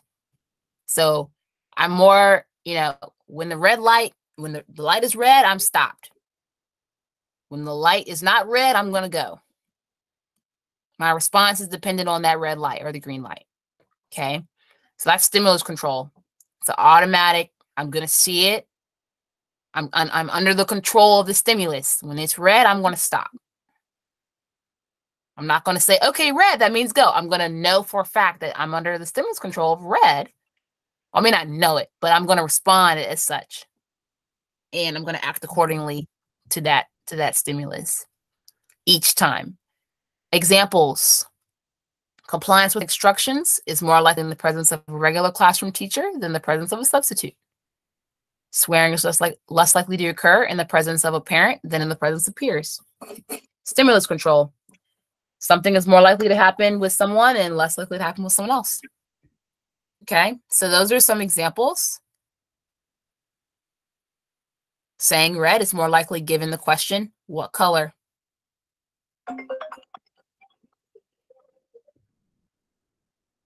Or whispering is more probable in libraries than in movie theaters. Uh, sorry, more probable in libraries and movie theaters than other environments.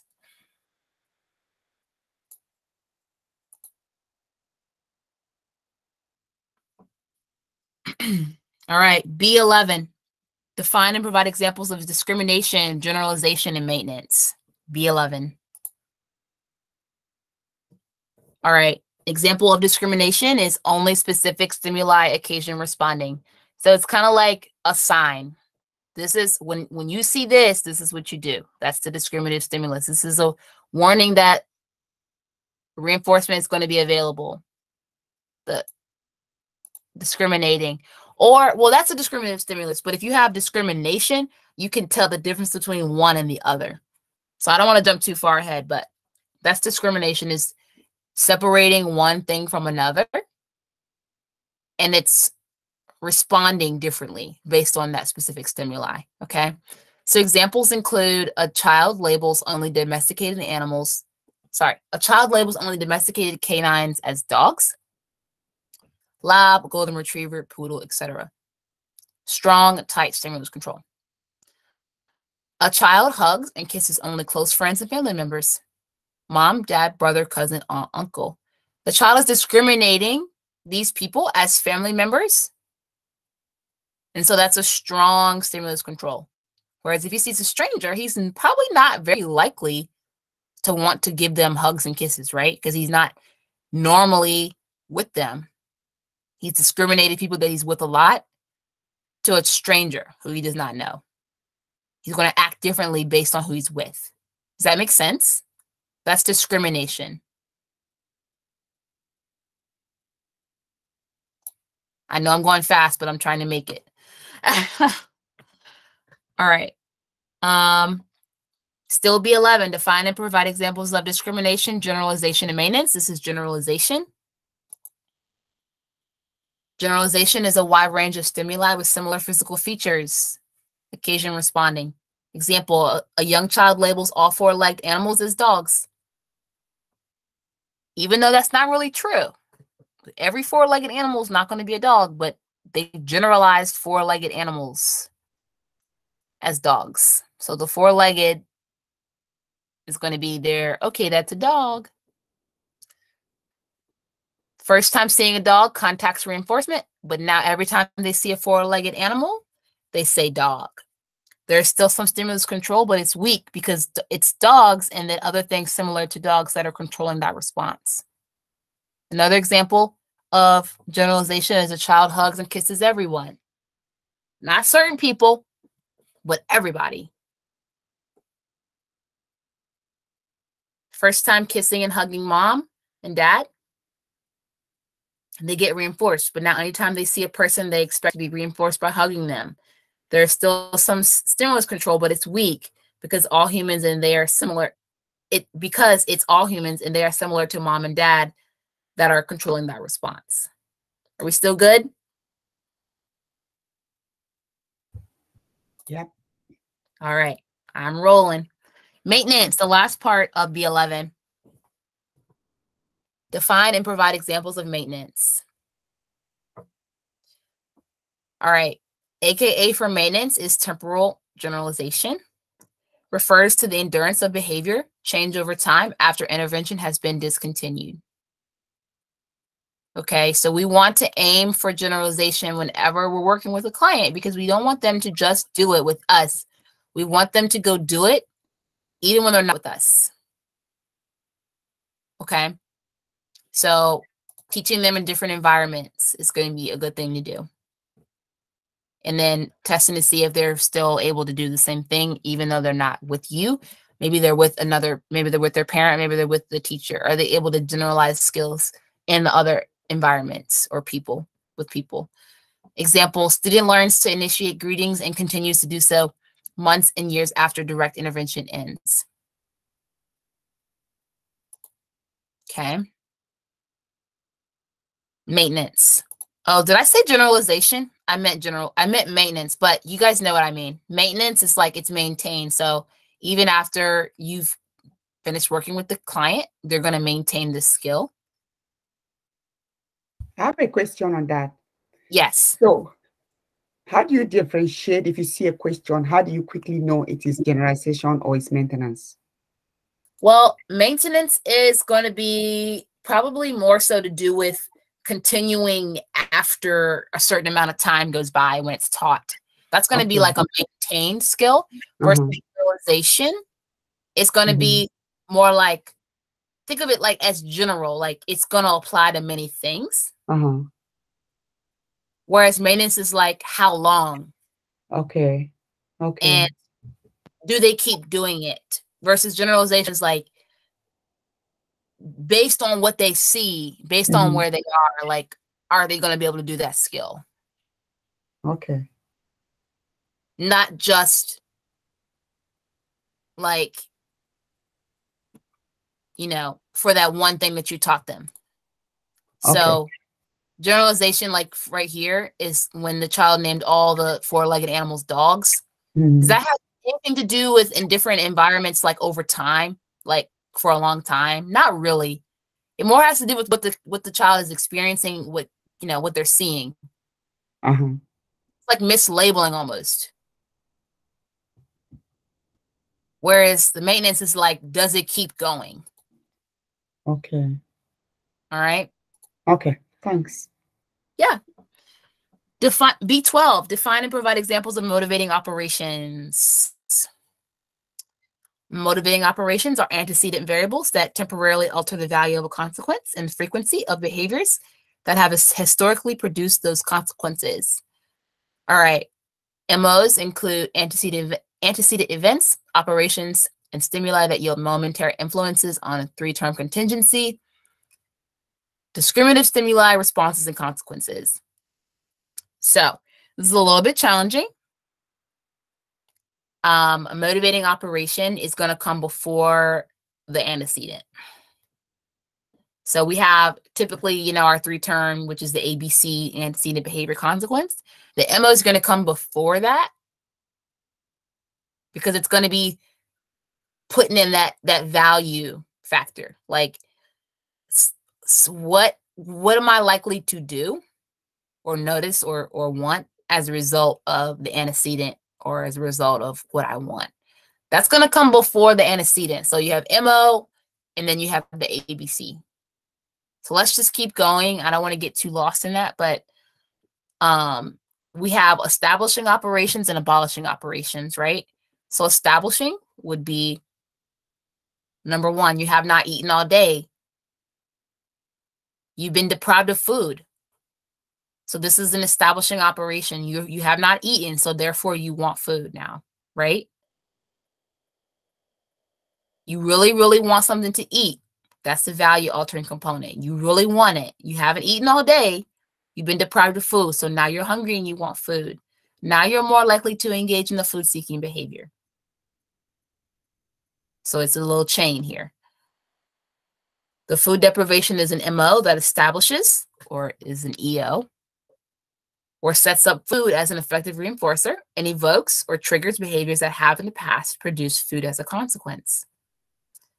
So this was all about an establishing operation. You hadn't eaten, you wanted something to eat. You're now more likely to engage in food seeking behavior. You didn't have any food. That was the establishing operation. And you know, food is an effective reinforcer because food is awesome and you're programmed to want food. It evoked you to act in a way that got food. So that's what happened after you were deprived. Now you're going to go and work, go get some food. You're working to do that. That's what your main concern is. Okay, you were evoked. Is an MO and an EO, are they the same thing? MO is the umbrella. EO and AO go underneath the umbrella. So you have Okay. EO establishing and AO is abolishing, Okay. one of the other. Okay. It's an abolishing operation, it's it's you've you've been satiated, pretty Right. much. Okay. Whereas if it's an establishing operation, there's some sort of deprivation there. Okay. Okay. Because it's establishing the want or the need to go do that thing or, or whatever it is that you want. Okay. Okay. So if it's an abolishing operation, we're talking about an abative effect, abative, A B A T I V E, abative and abolishing go together, and then evocative and establishing go together. So if it's evoking something, that that's go ahead and think about EO, and if it's abating something, then think about AO, which is abolishing operation. So if you consumed a large meal Now you're satiated, right? Because you just ate. You really don't want to eat anymore. Okay? Because you just ate. That's the value altering component here. You're now unlikely to engage in any more food seeking behavior because you just ate. You're not hungry anymore. Food satiation is an MO that abolishes or ends food as an effective reinforcer and has an abative effect on behaviors that have in the past produced food as a consequence. So we have evocative innovative, establishing and abolishing. Those are the four that fall under MO. All right. So MO is the whole term, like that's like the umbrella term. And then we have the four underneath that have the EO and the AO. And then with the EO, you're having an evocative effect on the behavior. And then the AO, you're having an, an, an abative effect or abolishing. All right. I would slow down, but I want to keep going. Um, hopefully that makes sense. Um, define and provide example of rule govern behavior. This is a part of B13. Define and provide examples of rule govern and contingency shaped behavior. This is the first part of B13. All right, so rule govern behavior. It's a rule. You didn't have to experience the consequence to know that not to know to do it or not to do it. You just read it or heard it or someone told you, etc. So it's behavior learned without directly contacting environmental environmental consequences, behavior under the control of verbal antecedents. Examples, avoiding dangerous items based on parental teachings, putting your hand in the fire. They told you not to do it. And so you said, okay, you didn't have to put your hand in the fire and say, that's not a good idea. Someone already told you that. That's rule governed behavior. The fact that you did not put your hand in the fire. You could have learned this from actually trying it and burning yourself, but many of us don't touch fires because we are told it will hurt, it causes pain, so we don't do it. We believe our parents. It's a rule. All right, contingent shape behavior. Learned by experiencing the consequences directly. Someone did not say, don't ride your bike and talk at the same time. You learn by riding your bike and talking that maybe it wasn't a good idea. Maybe you wrecked. Doesn't really give an example here for that, like specifically based on what happened after they were speaking and writing. But let's just say that, you know, you were distracted and you were talking and then you wrecked. no one told you not to talk and ride your bike. You just figured out that it wasn't a good idea. Okay. So when you're an infant and you start speaking, you receive attention from adults around you. That's learned. When I babble and talk and do all this stuff, I get attention from the adults like, and they cuddle me and all that. That's a contingency shaped um, behavior. It's also operant learning too. If you want to relate it to other concepts, you could relate it to um, operant conditioning. If you want to relate the riding a bike and falling off, that's conditioned punishment. Um, yeah, so you can relate this to a lot um, of things. All right. B14. Define and provide examples of verbal operants. Oh, I love these because there's a lot of them and there's a lot that goes to it. Actually, I'm going to pull up. Um, well, I'll read this first, but I'll pull up something else that has it more um, organized. One second.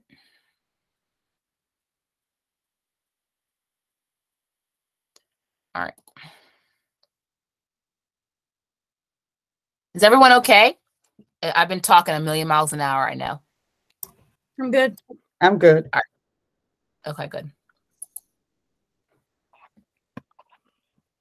Hopefully, you're still learning. I know I'm not, uh, it sucks, but I probably should have planned for seven hours for this thing, but I didn't want to plan it too long because that's just too much for someone to sit through. You're doing good. Thank you. Um, all right, so define and provide examples of verbal operants generally refers to skills that are required for communication. It includes all behaviors that are re- that are reinforced through the mediation of another person with an appropriate learning history. Examples, or these are the verbal operants, with some that are excluded, but most of them are here. Uh, mands, tacts, echoics, interverbals, textual, and transcription. I'm going to go ahead and share my screen for a more uh, comprehensive look at the verbal operants. I have some notes here. Verbal. All right, here it is. All right, so hopefully y'all can see this. I'm to zoom it in. Um, where is the oh, file? Review. Full screen. And perfect. So let's go over this really quickly. Um, where was it at? Mm.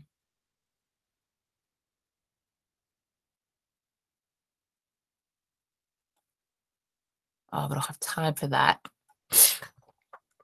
If you're wondering about where to read verbal behavior, Huh? Scroll down and you'll come I, back I'm, I'm looking at this. I'm looking at. I was gonna say, um, if you want to look at Cooper chapter 25, you'll find verbal behavior, verbal operants there. If you want to look at that as additional notes or reading up. Um, we don't have time to go through all that, but you already read that. Uh, verbal behavior is defined by the function of a response rather than its form. The speaker gain gain access to reinforcement, and the listener reinforces the speaker. The listener not only plays a critical role as a mediator of reinforcement for the speaker's behavior, but also becomes an SD for the speaker's behavior. All right, let me scroll down to the more understood stuff. I think this is just too much for this video. Um, all right, so a mand. Mand, think about it as like a request that it's it's under the function of an MO. So I want something. That's my MO. And that's why I'm gonna mand. That's why I'm gonna ask for what I want. Because it's I have an MO. I know what I want. Okay. Early mands are known as crying. So the child is crying because they want something. They want to be held, milk, they're wet, whatever it is. Um, a tact is a verbal operant in which the speaker names things and actions that they that the speaker has direct contact with through the senses. It's under the control of a non-verbal stimulus. I don't know if the exam is going to ask you this, but it's worth knowing what is each verbal op- what is each verbal operant under under the control of. Because you should know that if it says mm-hmm. which of the verbal operants is under the control of an mo you need to know that it's a mand there's no other verbal operants that are under control of an mo it's the only one. So a, another verbal operant is an echoic. Echoic is pretty much you repeat the exact same thing back. Controlled Oh, by. sorry. Sorry, go Um, ahead. I was gonna sorry, I was gonna answer your question that you said you didn't know. Um, on my exam, it did ask that question. Yes, it did.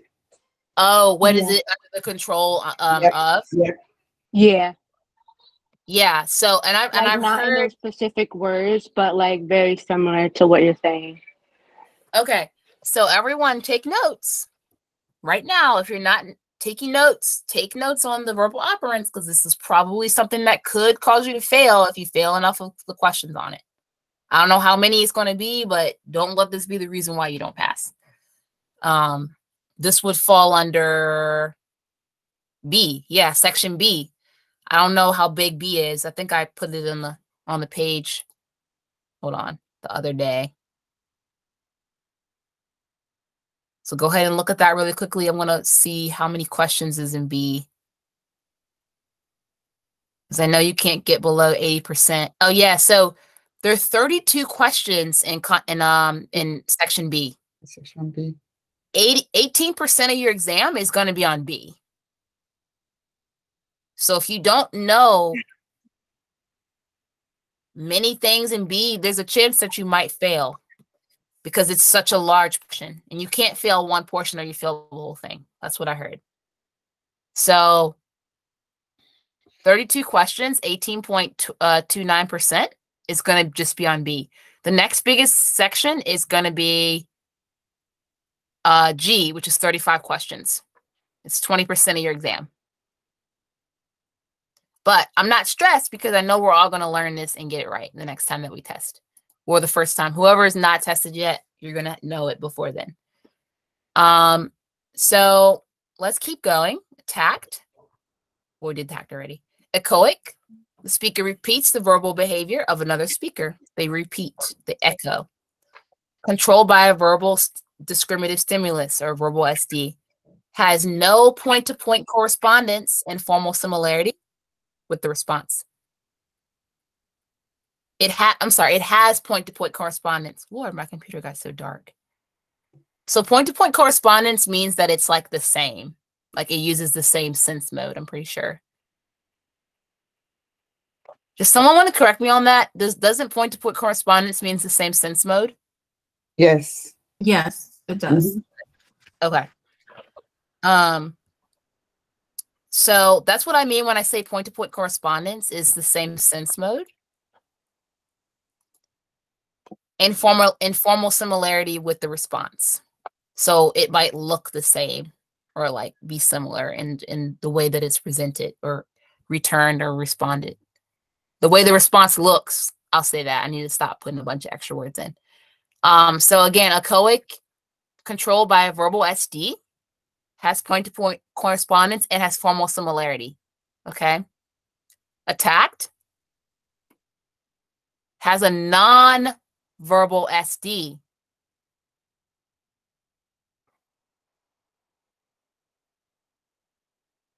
All right. MO, uh, mand has an MO as its functional control. It's under the functional control of MO. Doesn't mention anywhere with a non-verbal SD, verbal SD, nothing. It's just about MOs, okay? So we we went over three so far. So we have M, T, and E, mand, tact, and echoic. Continuing with echoic, produce praise. Motor imitations have the same verbal properties as echoic behavior, as demonstrated by their role in acquisition of sign language by children who are deaf. So you can have someone speaking sign language and it's like echoic because they're basically repeating. They're just copying you. It's like a motor imitation. Copying a text is a form of verbal behavior in which a written stimulus has point to point correspondence and verbal similarity with the verbal response. So you could copy a text and it could be similar to an echoic because it's the same thing. It's your it's the exact same thing that they're doing. Copying. All right, intraverbal occurs when a occurs when a verbal SD evokes a verbal response that does not have formal similarity nor point to point correspondence. When I say does not have formal similarity and does not have point to point correspondence, it is not copying them. It is a vastly different response. So think of it as a conversation.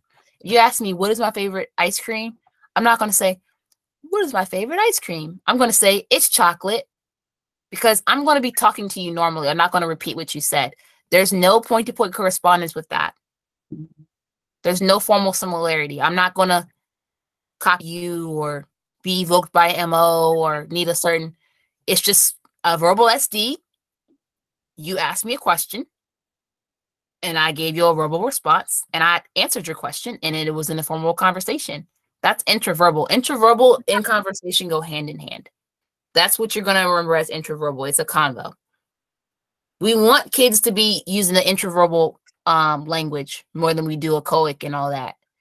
Because we want them to be able to talk to other people and get to know them and, you know, be in, be in a normal classroom, whatever they're doing. We want them to be able to answer questions coherently and, and respond to, to, to a verbal SD properly. Okay, so answer questions as well as we think and talk about events that are not physically present. That's another part of the intraverbal is like that's that's going to make it more of a conversation. Then it's going to make it like I need to be here just to know what to say or I need you to tell me what to say. It's just they're talking and they're responding to you. So let me just stop for a second. Which ones are evoked by a verbal SD so far? Um, echoic, intraverbal,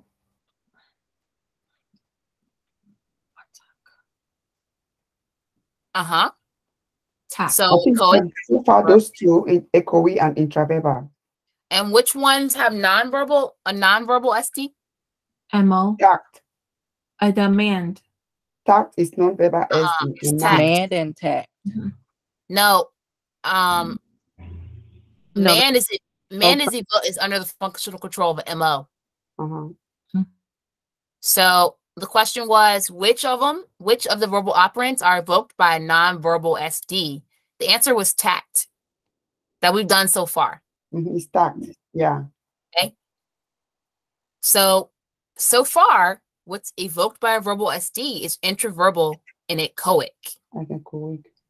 Okay. The tact is is a nonverbal SD. We're just labeling. We're just labeling. We don't need someone to ask us a question. We're just labeling something. Tacting is labeling. Okay. And then the mand is just asking for what you want. It's it's based on what you want, based on an MO, right? MO, motivating my motivation. I was hungry, so I asked for something to eat. That's it. Okay. So textual reading without any implication that the reader understands what is being read. Need to fix that. That's a verbal operant. Reading. There's no indication that they understand, but they're just reading it. Now, the question is, well, did I mess up on this? Because how are these evoked? Textual and transcription. I don't think they're evoked by a verbal um a verbal stim. Yeah. So I meant to put that um here in this this chart here is telling me yes. So I didn't put it here, but it's here. Um a verbal stimulus, both verbal SDs, textual and transcription, they're both evoked by a verbal SD. Okay. So which ones are evoked by verbal SDs again?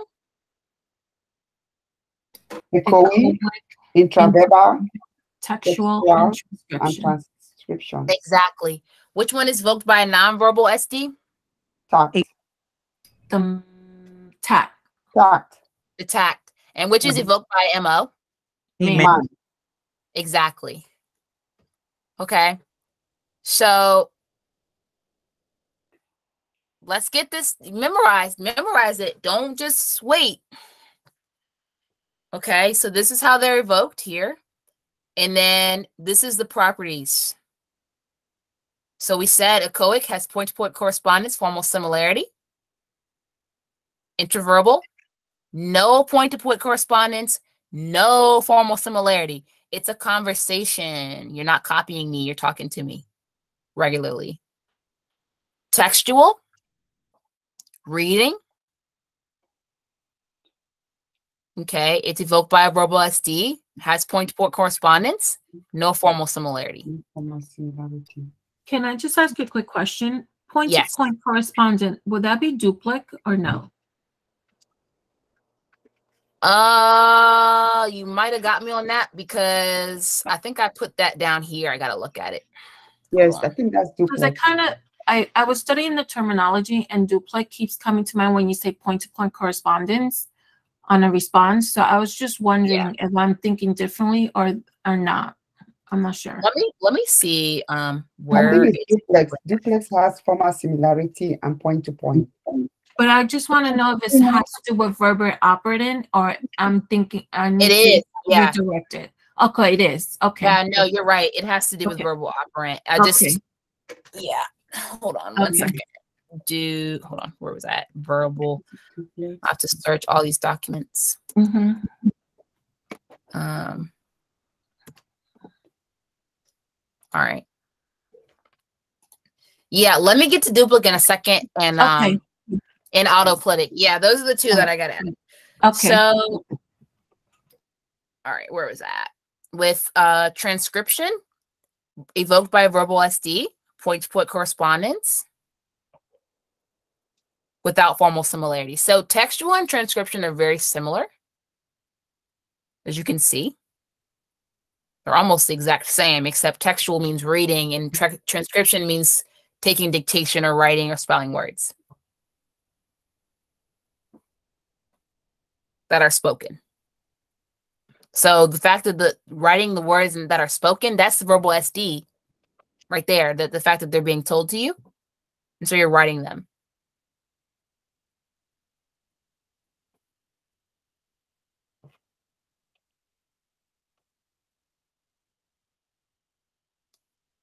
All right. Now, this is when it gets a little more complicated. And I'm really sad that we didn't really get to even experimental design because I love experimental design so much. Um, we only have 40 minutes left. So let's see. Where it was at. Let me go back to the Quizlet, or maybe I should stay on this because it gives more detail. Excuse me. Um,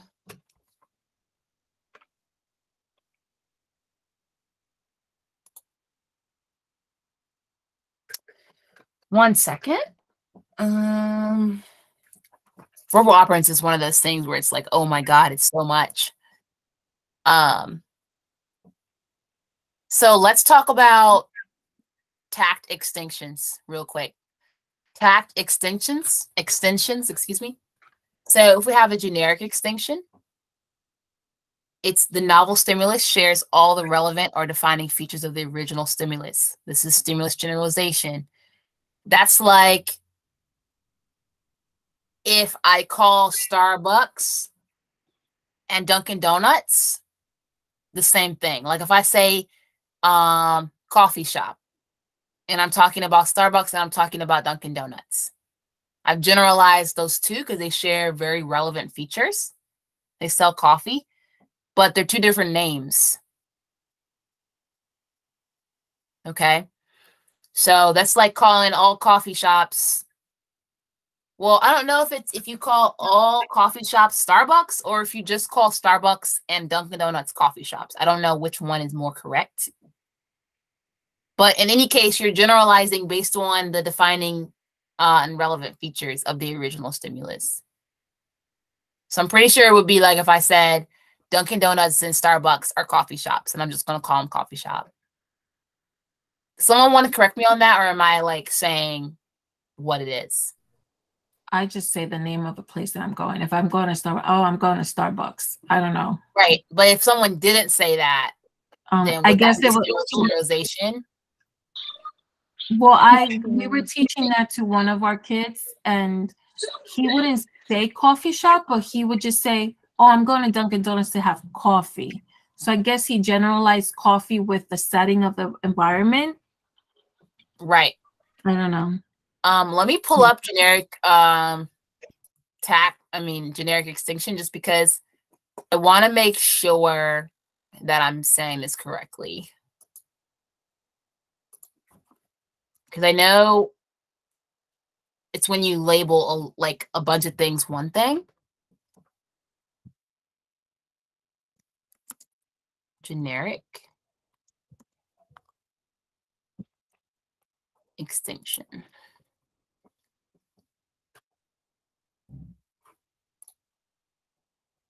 So we may see a red car and still say car, as well as see a white car and still say car. Different makes and models of cars will all evoke the same response as car. So yeah, so if you see a bunch of different coffee shops like Dunkin' Donuts, Starbucks, you're just going to say coffee shop. Does that make sense to everyone? You're just putting them all under one Yeah. category Mhm. because they're related. Yeah. Okay. With metaphorical extinction, uh, the novel stimulus shares some, but not all of the relevant features associated with the original stimulus.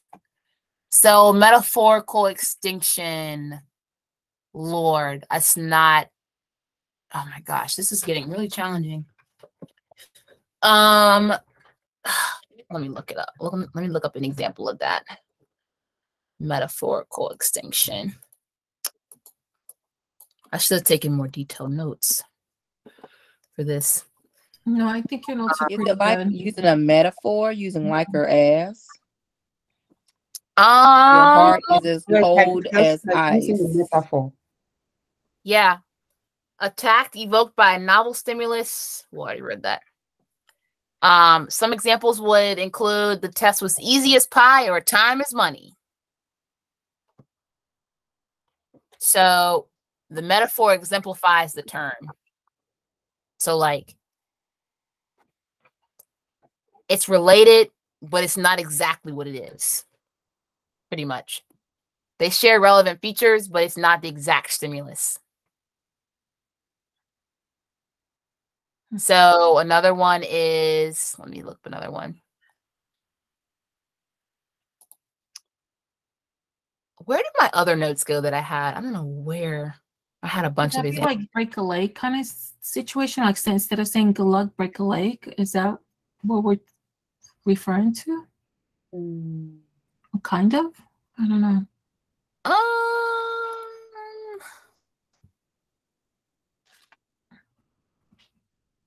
one second. Okay.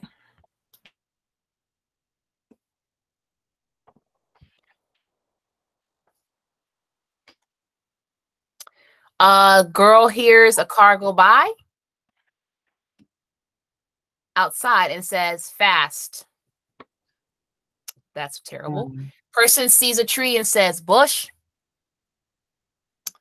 Woman smells bacon cooking and says, and woman smells bacon cooking and says, bacon. Child sees a large M and says, McDonald's. Uh, boy sees a bear cub and says, doggy. I don't think I like any of those examples. Um, a child is taught to label a green snake as a snake. Later, the child sees a garden hose and says snake. So the novel stimulus was similar, but it was missing some of its defining features. Okay. So maybe like maybe like calling Starbucks Dunkin'. That makes more sense. So like if I go to a Starbucks and say, "Yeah, so uh I'm at Dunkin', right?" Like, no, you're not. You're it's similar to Dunkin', but it's not Dunkin'. That's what I'll go with for that. Um where was I at here? For a metonymical extinction, the verbal responses to a novel stimuli that share none of the relevant features of the original stimulus configuration, but some irrelevant but related feature has acquired stimulus control. Um, that's a really long definition, but an example could be uh, your friend calls paper money dead presidents. Uh, a child, upon seeing a birthday cake, says present.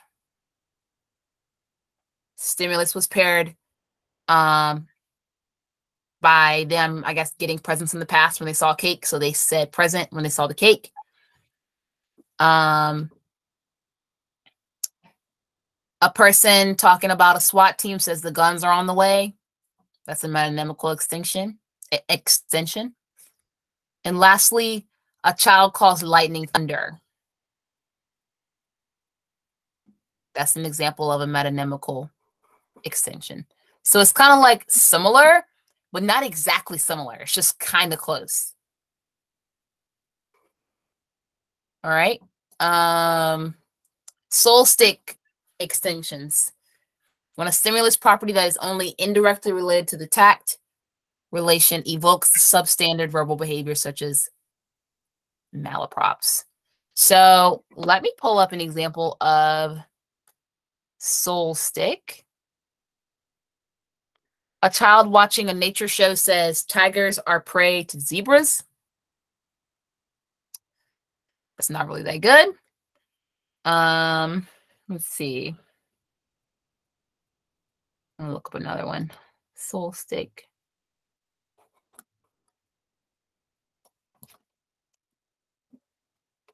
Extinction.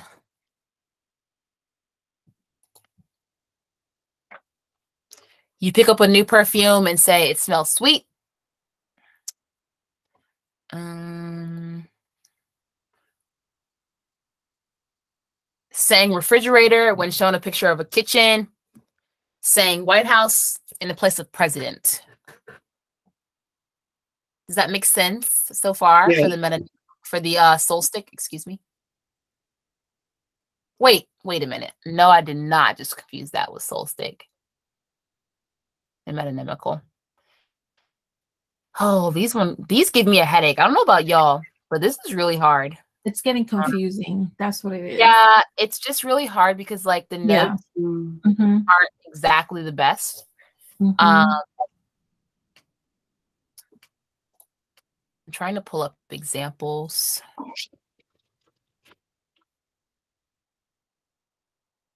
I would encourage you after this to go back and look at all the verbal operants and look at examples of them, how they're evoked, and the different tact extensions. That's going to be really helpful to you to go back and just spend some time on those. It's not going to be enough for us to like fly through them. Um, like I really want to like dig deeper in them, but it's just not enough time. So trying to find one more example of a solistic tact extinction.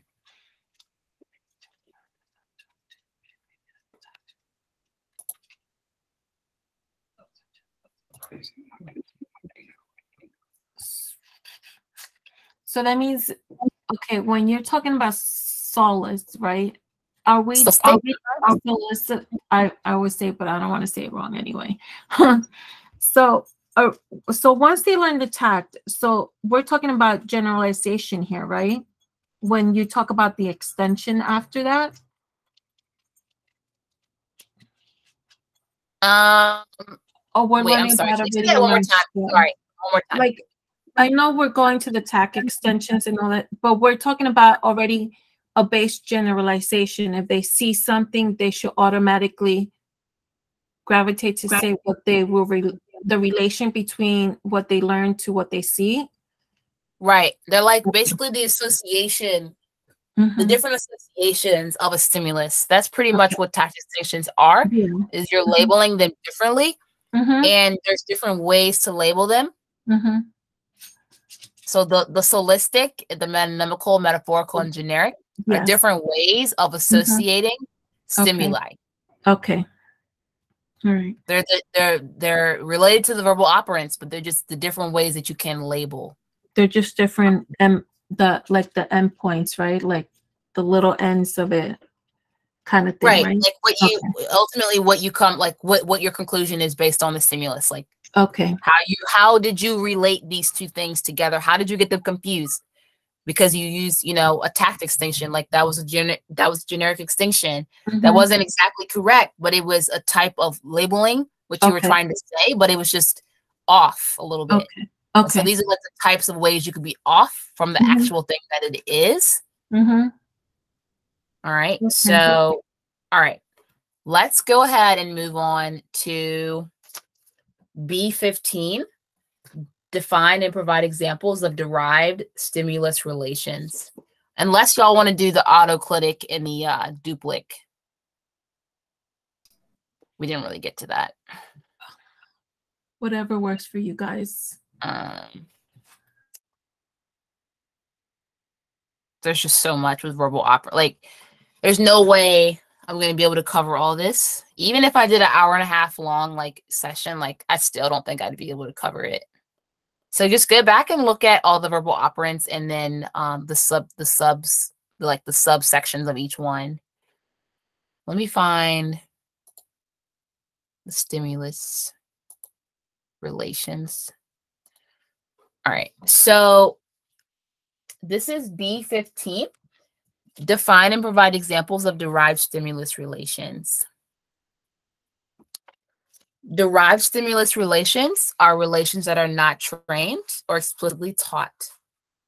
When several prior relations are made, new connections are made. Example, if you know three spoken equals three written and three spoken equals three objects, you can create the connection that three written is the same as three objects.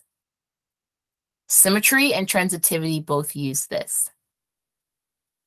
Okay, so we have different types of derived stimulus relations. Now, this one doesn't do a very good job of covering the different aspects of it, but I will look really quickly at my notes.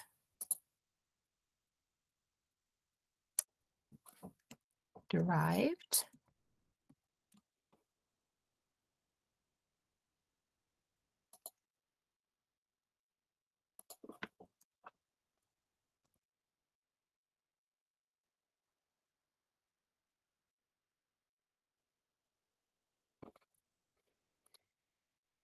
really quick.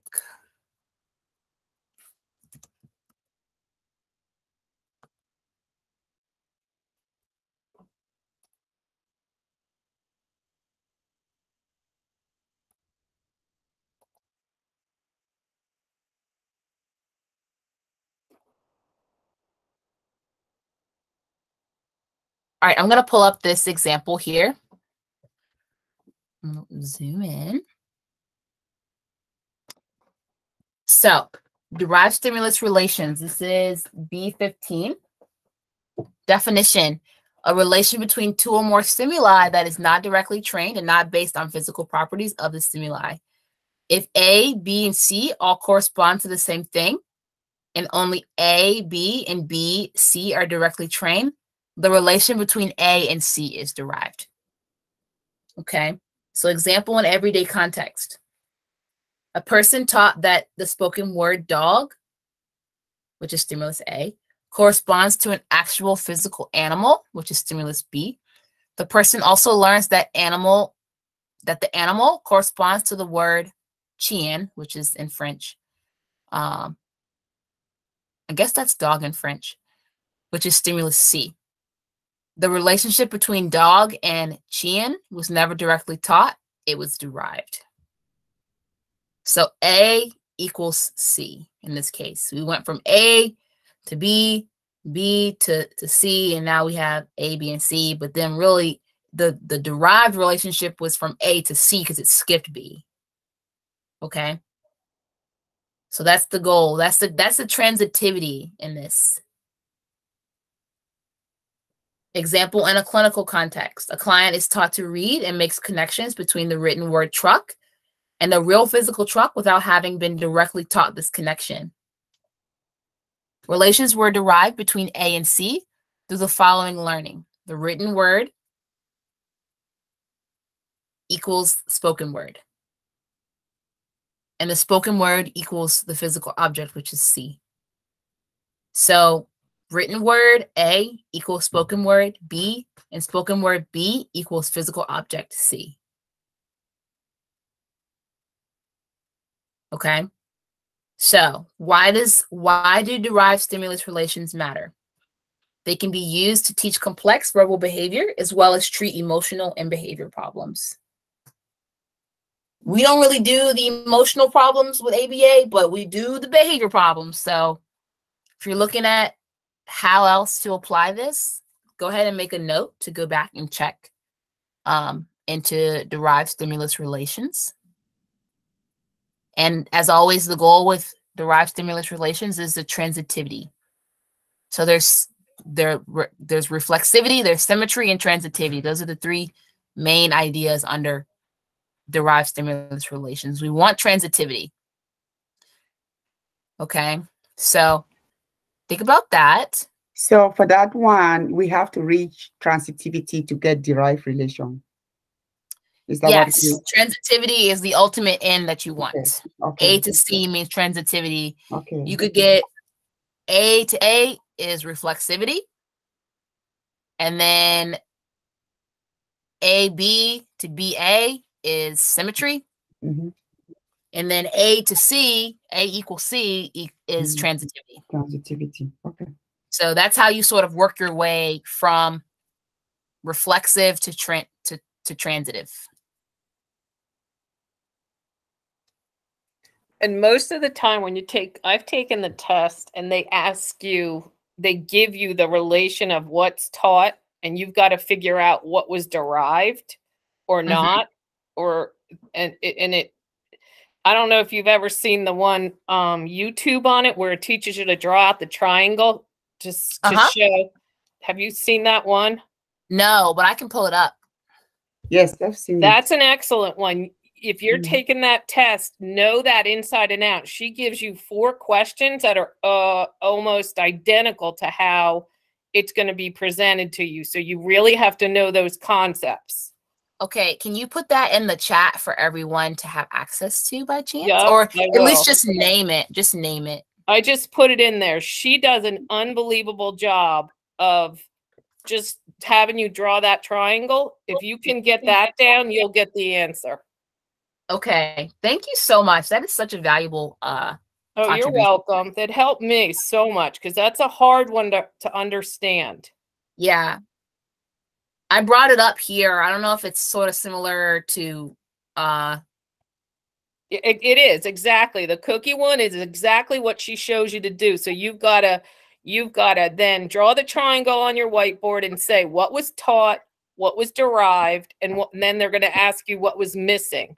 So you got to find. So- e- So you're going to have to find either symmetry, reflexivity, or transitivity, because they're going to give you a scenario of uh, Sammy was taught to say the word cookie and match it to a cookie. And then Sammy was taught to um, match the cookie to the picture. the written word cookie. They're going to like give you that kind of wording, and you got to figure out which part of that triangle. It's a puzzle. You got to figure out what's missing. okay, so does everyone see this and how you might find the derived relations versus the trained relations? Yeah. Yeah. The one thing that? I saw on the test that I got with that question was um God. making sure that you're looking for the word derived. So if it was derived, then it would be transitivity. But if it was not, then it would be symmetry. Right. If it's taught, it's not derived. hmm Right. So that was the one. Yeah, like it's the key word. So making sure like you're doing all your work in the question first before you choose your answer. So that's how they trick you on that one. Yes, just Mhm. draw, draw the triangle and draw draw the triangle with the solid lines and then go through each que- part of the question and draw the dotted lines and then whatever part doesn't have the dotted lines you'll see in the YouTube I posted she shows you so clearly how to figure it out Okay. Thank you so much. Well, let's take a minute to look at this together. Um, just as a quick discussion, reflexivity we see at the top here. A equals A, cookie equals cookie, right? And then we're gonna go to A equals B. B is down here. Cookie. This cookie here equals the word cookie. The word cookie equals the physical cookie. This is symmetrical. It's symmetry. AB, AB equals BA. That's that's symmetry, right? Do we get that? Trained, derived. I'm not going to talk about derived yet, but I'm just working. I want to just work my way down really slow. A to B, B to A is, sym- is symmetry. Now, symmetry here again. B equals C, C equals B. Cookie equals food. Food equals cookie. Okay. So I'm working my way around the triangle. I started up here and I went to B and now I'm working my way to C. Now, derived, this is the only side of the triangle that has all dotted lines. The other two sides has the filled in lines. These are trained. Okay. So we have physical cookie to the word cookie, the word cookie to the word food. And now the transitivity is A equals C.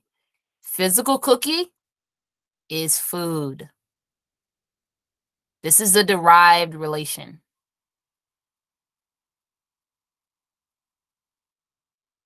So we worked our way all the way around. We good on that? Or and at least until you watch the YouTube? Yep, that is good. All right. At first, you know, I actually didn't notice that this was the only side with just dotted lines. This is the only side of the triangle with dotted lines. The other mm-hmm. two sides all have solid lines, which means straight. broken lines, yeah. And that's exactly how you'll get the correct answer. Like if you model that triangle, Mhm. you'll you'll get that correct. Okay. It helps so much. Yep. I love that. That's that's great. I'm glad I found that picture too. Um, where was I at? Okay. Now we just finished B15. Now for C in the last 15 minutes. I don't know how far we're going to get, but we're losing people minute by minute. We have 60 people left. Um, I guess they got bored or they're tired of me talking the whole time. But um, where was that? Oh, let's look at one more example. Let's look at one more example of a derived stimulus relation. I don't know if y'all want to or not, but I think it's probably a good idea. It's a good idea. Um, let's see.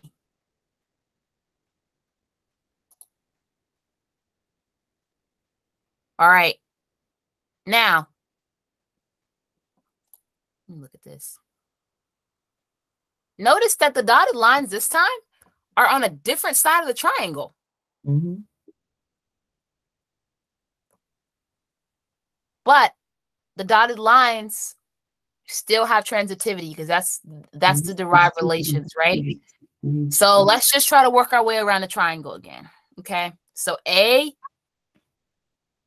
equals a would be Reflexivity. let's see um hold on I'm Reflexivity right there. hold on i'm trying to figure out how A to, oh equals- a equals a is this A is equals this A, cat okay. and cat, Mhm. right this is this is this is the reflexive it's a is cat equals cat Mhm. And then it, we want symmetry next. So Mhm.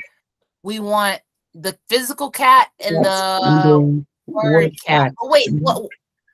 I'm I'm confused. Why does it just why does it just say animal or like something like that? Like what?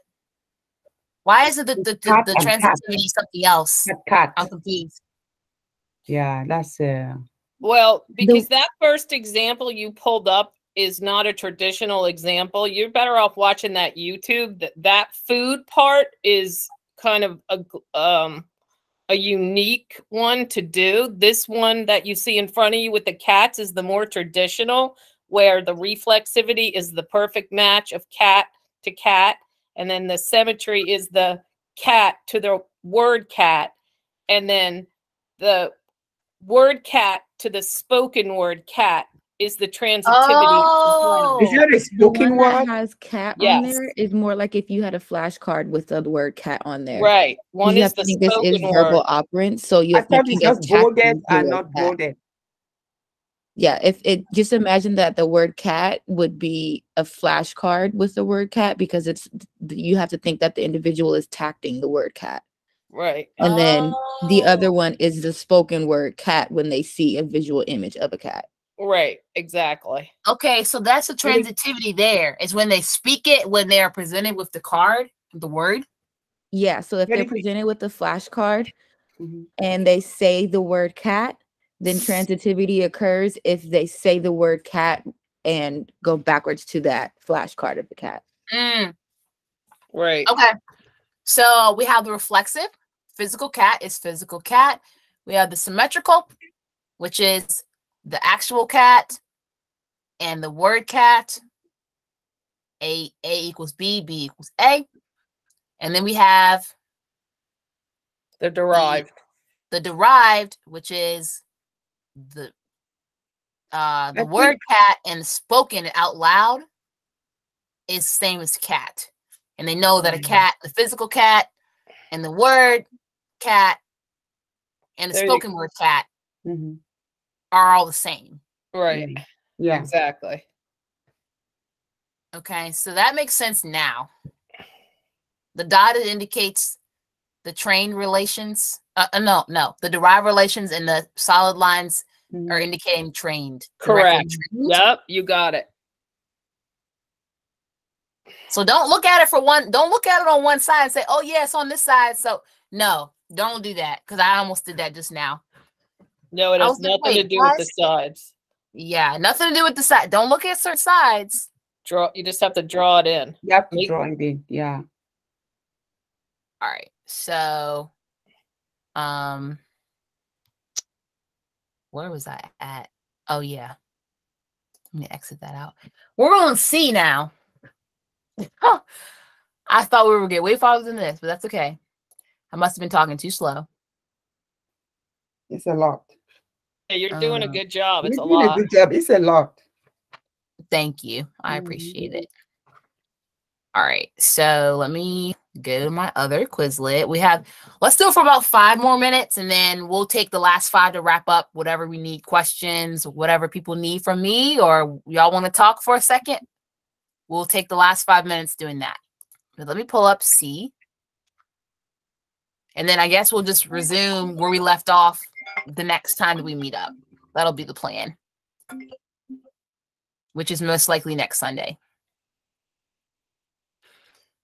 Um, see. All right, share this tab instead.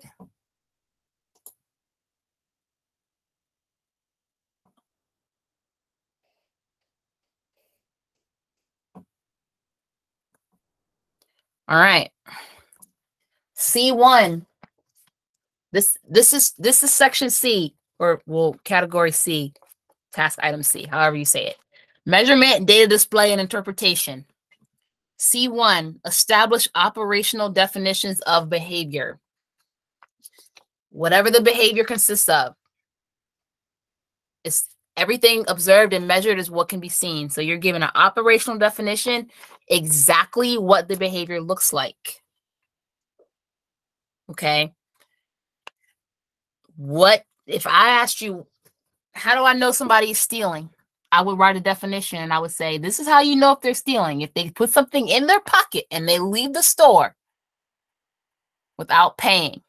I'm not going to just say stealing. Well, what does stealing look like? Is stealing putting something in your pocket and that's it? No, because they didn't leave the store.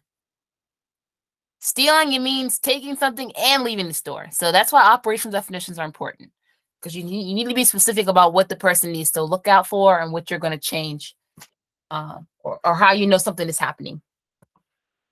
Um, examples, we don't have time for that, but we'll see. Let's see. Scenario, I spelled scenario wrong. Scenario involving the target behavior. That's giving an example of an operational definition of what the behavior looks like.